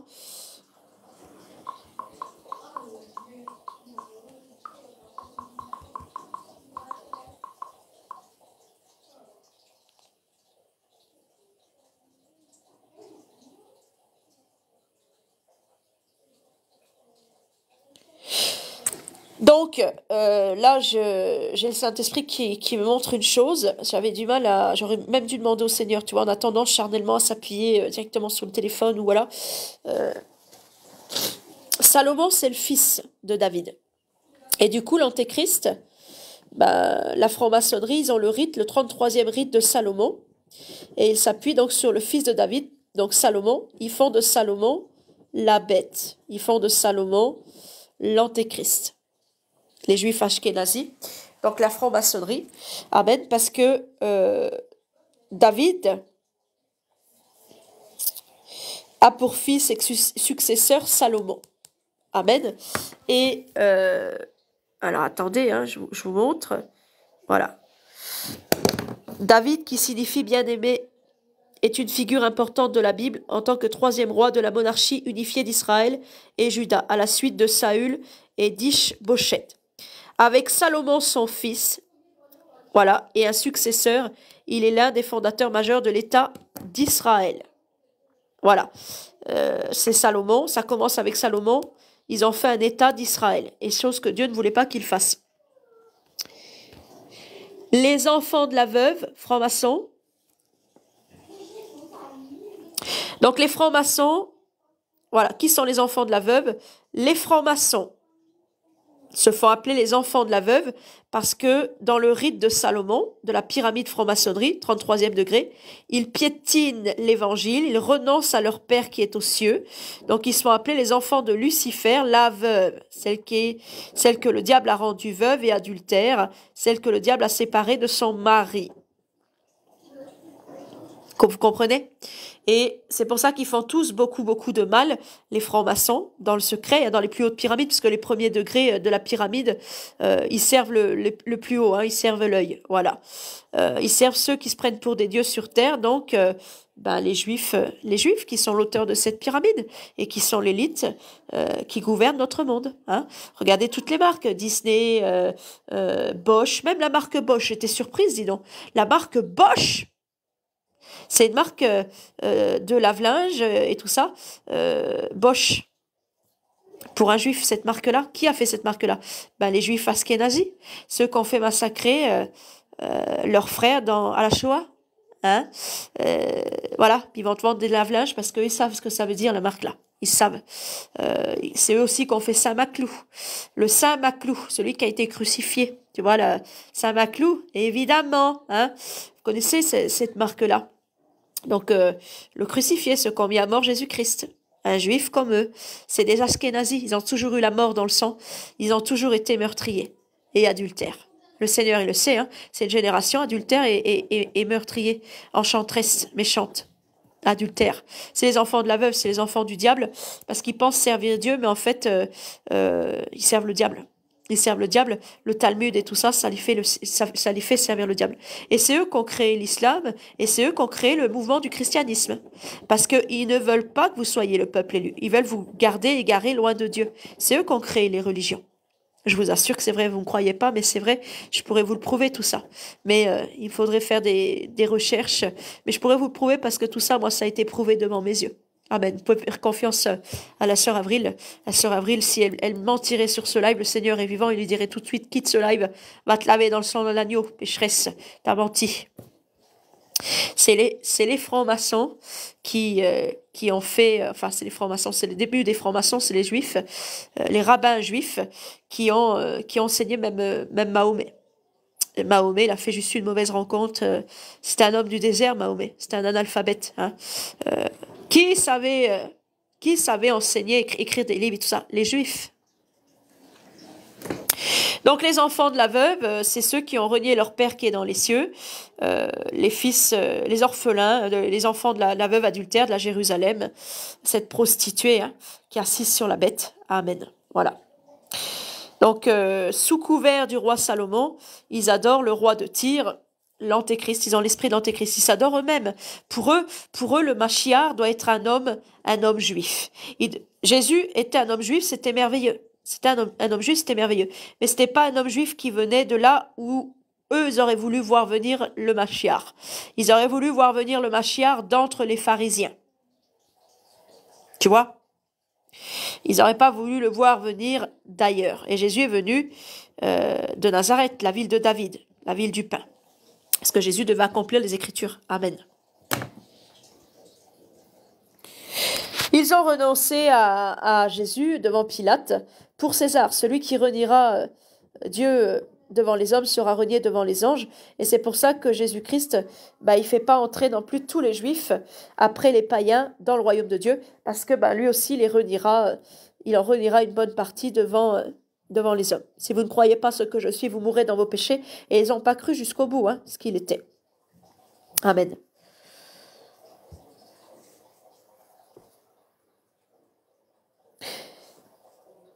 Donc, comme les pharisiens étaient assemblés, Jésus les interrogea en disant Que pensez-vous du Christ? Il interroge les pharisiens. Il n'a même pas besoin de les interroger. Hein. Qu'est-ce qu'ils pensent du Christ? Pour eux, le Christ, ça sera un, des leurs. Ça ne peut pas être toi qui es en face de nous. Il leur laisse leur liberté de parler aussi. Hein. Et de qui est-il le fils? Ils lui répondirent de David. Donc, si le fils de David, pour eux, c'est Salomon. Et c'est Salomon C'est selon Salomon, voilà, c'est sur des rites de Salomon qui vont s'approprier. Parce que Salomon, il a déconné aussi. Hein. Salomon, dans les derniers jours de sa vie, qu'est-ce qu'il a fait? Il a élevé des temples d'idolâtres à toutes les femmes qu'il avait épousées. Il avait épousé euh, 300 concubines et 700 princesses ou vice-versa, plus de 1000 femmes. Et s'est détourné de l'éternel, le vrai Dieu. Et ces juifs-là, et la franc-maçonnerie, c'est c'est être juif, c'est pas de la laïcité. On est gouverné par une élite juive et religieuse et sectaire euh, qui vit toujours autant, euh, autant d'autrefois, autant passé. Hein. Euh, on n'est pas gouverné par la laïcité. La laïcité, c'est quand même la bête, parce que l'antéchrist, l'esprit du démon, ne veut pas être religieux. Il veut détruire la religion. Et c'est pour ça que là, il graisse la patte aux juifs et tout ça, mais il finira par détruire le judaïsme. Enfin, euh, par détruire. Il, arrêtera les sacrifices et tout ça à Jérusalem. C'est l'Éternel qui, détruira le judaïsme. C'est la bête pour la bête qui détruira le judaïsme. Parce que Jésus détruira le temple de Jérusalem. Il ne restera pas pierre sur pierre qui doit être renversé. Et il, euh, comme ils ont voulu un Machiar, bah, ils iront avec le Machiar dans la colère de Dieu. Voilà, donc c'est Jésus quand même qui mettra un, un point final à tout ça. Mais l'Antéchrist commencera, euh, commencera à le faire. Et il a commencé il n'y a pas longtemps en, en- leur allumant le, le Hanouka, hein, l'esprit, là. Voilà, voilà comment est le, démon. Hein. Il se fait lumière. Il aura allumé le Hanouka. Il aura allumé le Hanouka là, euh, dans la République française. L'Europe. Paris. Paris, c'est Lutèce. C'est, euh, ça fait partie de, de- Rome, hein, à la base, la- l'ancienne bête. Donc ils disent que c'est de David que viendra le Machiar, et pour eux le Machiar c'est Salomon. Et euh, en prétextant suivre le roi Salomon, euh, ben, ils ont formé, ils ont fait ce qu'on appelle la bête. Et c'est pas la religion, hein, c'est pire que la religion, c'est de, la secte carrément, et, c'est de la manipulation. Et ils sont, des dictateurs ces hommes-là, ils sont des antéchrists. Et ils dominent sur l'humanité, sur les hommes, et ils nous font souffrir. Jésus leur dit comment donc David animé par l'Esprit, l'appelle-t-il Seigneur? Lorsqu'il dit, le Seigneur a dit à mon Seigneur, assieds-toi à ma droite jusqu'à ce que je fasse de tes ennemis ton marchepied. Donc l'Esprit du Père a des pensées que le Fils peut entendre, parce que le Fils, c'est la première Église, il a des oreilles pour entendre son Père qui est dans les cieux et qui est son propre esprit, l'esprit de son corps. Et le, Fils euh, ne fait pas les choses de lui-même parce que il a la pensée de Dieu et quand il parle ou qu'il fait des œuvres, c'est pour le Père qui est en lui, manifester le Père qui est en lui. Amen. Donc le Seigneur qui parle à son Seigneur, c'est l'Esprit euh, de Dieu qui pense ses desseins et le Fils les accomplit. Et eux, euh, pour eux, le Seigneur qui parle à son Seigneur, c'est Dieu qui parle à, David, euh, voilà, apparemment à propos de Salomon. Mais tout ça, c'est eux qui l'inventent. Hein. Amen. Le Seigneur a dit à mon Seigneur, assieds-toi à ma droite jusqu'à ce que je fasse de tes ennemis ton marchepied. Donc le corps de Christ, c'est la droite de Dieu. Amen.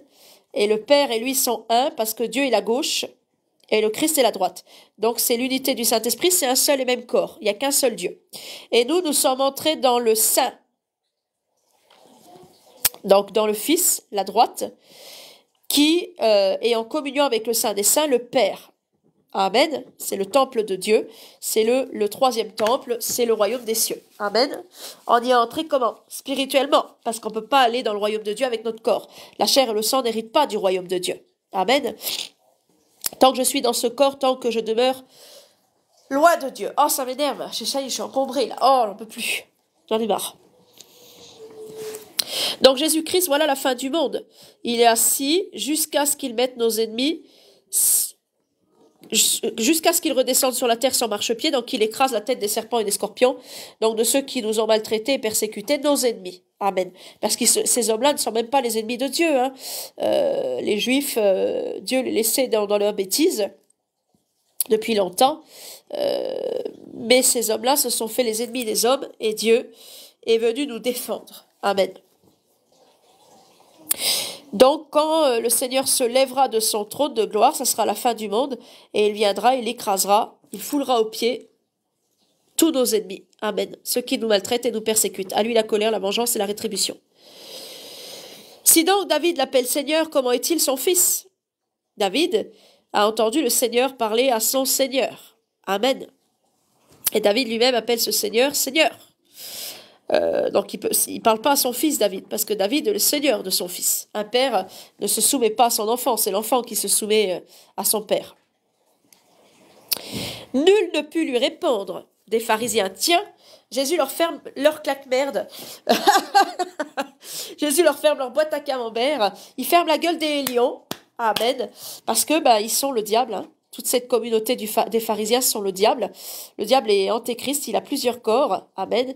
Il s'est fait chef et tête de la religion. Amen. Et puis euh, Jésus, c'est eux qui venaient, c'est eux qui venaient de la part du diable fermer la bouche à Jésus, mais Jésus leur rend selon leurs œuvres. Il leur ferme leur bouche, il leur ferme leur gueule, leur gueule diabolique. Amen. À tous ces lionceaux, ces antéchrists qui tournent autour de Jésus pour essayer de faire taire Jésus. Parce que Jésus dérange avec sa lumière, il dérange leurs ténèbres. Amen. Et leurs ténèbres, c'est de tuer les gens, de faire le mal. Amen. Nul ne put lui répondre un mot, et depuis ce jour, personne n'osa plus lui proposer de questions. Jésus leur a fermé la gueule à tous. Le diable a envoyé des, des, des, des, flèches, les premières flèches, puis après il a envoyé des les pharisiens carrément. Donc le diable, pardon, s'est déplacé, euh, s'est déplacé lui-même dans les pharisiens. Le diable était dans Judas Iscariote. Hein. À partir du moment où Judas Iscariote n'a plus de corps, le diable ressort de Judas et il va où À votre avis? Le diable, Judas, euh, Judas, il a comploté avec les pharisiens pour enlever la vie à Jésus. Amen. Donc c'est cet esprit d'antéchrist qui est encore dans, dans les hommes aujourd'hui, hein, parce que ceux qui, qui ont percé Jésus sont morts, donc le diable s'est retrouvé encore sans corps, mais le diable, euh, bah, il est retourné encore une fois en esprit euh, dans d'autres corps. Et aujourd'hui, euh, c'est la franc-maçonnerie, hein, c'est les, juifs askénas, c'est les enfants de ces hommes-là qui ont hérité du péché de la mort, de la tradition de leur père, de la méchanceté, la génération méchante et adultère qui recouvre notre monde, hein, qui fait que notre, notre monde est dans l'adultère et dans la méchanceté. Si on s'entretue les uns les autres, c'est parce que bah, justement ceux-là s'enrichissent sur notre dos et ceux-là veulent être le peuple élu, ils veulent ils veulent l'exclusivité. Donc qu'on soit égaré, endormi dans le christianisme ou dans euh, l'islam ou dans des euh, fausses religions, euh, des religions arriérées comme le bouddhiste et tout ça, c'est même pas des religions, ça c'est plus des choses que, que qui étaient faites par secte, hein, par tradition de ces de, ces pays-là autrefois. Donc ça vient pas de Dieu, parce que Dieu, on entend parler de lui dans le monde entier. L'évangile, ça vient de Dieu. On entend parler de lui dans le monde entier. Les bouddhistes, c'est pas de Dieu. On n'entend pas parler d'eux dans le monde entier. ils ont une réputation, d'accord? On entend parler d'eux, mais euh, c'est pas une pratique qui est pour le monde entier. Alors que l'évangile, c'est une pratique universelle. C'est un mode de vie pour tout homme. Tout homme peut se convertir à l'évangile. Amen. Voilà mes chéris Coco, bah, je vous remercie d'avoir écouté ce live. Si vous avez des petites questions, bah, il n'est pas bien tard. Hein. Si vous avez des questions, allez-y, euh, posez-moi vos questions et je vais, euh, je vais vous répondre. En tout cas, j'espère que ça vous a édifié. Moi, euh, ça m'édifie toujours. ça, ça, me, ça me donne du zèle. Hein. Lire l'évangile, c'est les chaussures du zèle. c'est les chaussures du zèle que donne le Saint-Esprit, Amen, pour pouvoir avoir la persévérance des saints et continuer à être bouillant, hein, continuer à être bouillant euh, en attendant le Seigneur. Eh ben c'est moi qui vous remercie. Moi je vous embrasse dans la paix du Seigneur puisqu'il n'y a pas de questions. Je m'en vais. Je vous souhaite une bonne fin d'après-midi. Je ne sais pas si je reviens ce soir à 21h30. Si à 21h40, il n'y a pas euh, de live euh, de lecture ou voilà, bah, c'est qu'il n'y en aura pas, les amis, tout simplement. Amen. En tout cas, louons l'Éternel car il est bon et sa miséricorde durera toujours. Rendant grâce à l'éternel des armées, notre Dieu, Melchizedek, selon son Fils Jésus-Christ, qui est selon l'ordre de Melchizedek, Emmanuel, pour ce temps que nous avons passé ensemble et de pouvoir nous retrouver comme ça euh, euh, quotidiennement, ça fait vraiment plaisir. Amen. Remettons ce live pour la gloire du Seigneur, parce que de toute façon, la gloire ne nous appartient pas. On va entrer dans la gloire, mais elle ne nous appartient pas, les amis. Allez, gros bisous à tous. Shalom et gloire à l'éternel des armées, Jésus-Christ, notre roi, qui arrive. Préparez-vous. Amen. Bye bye. Non.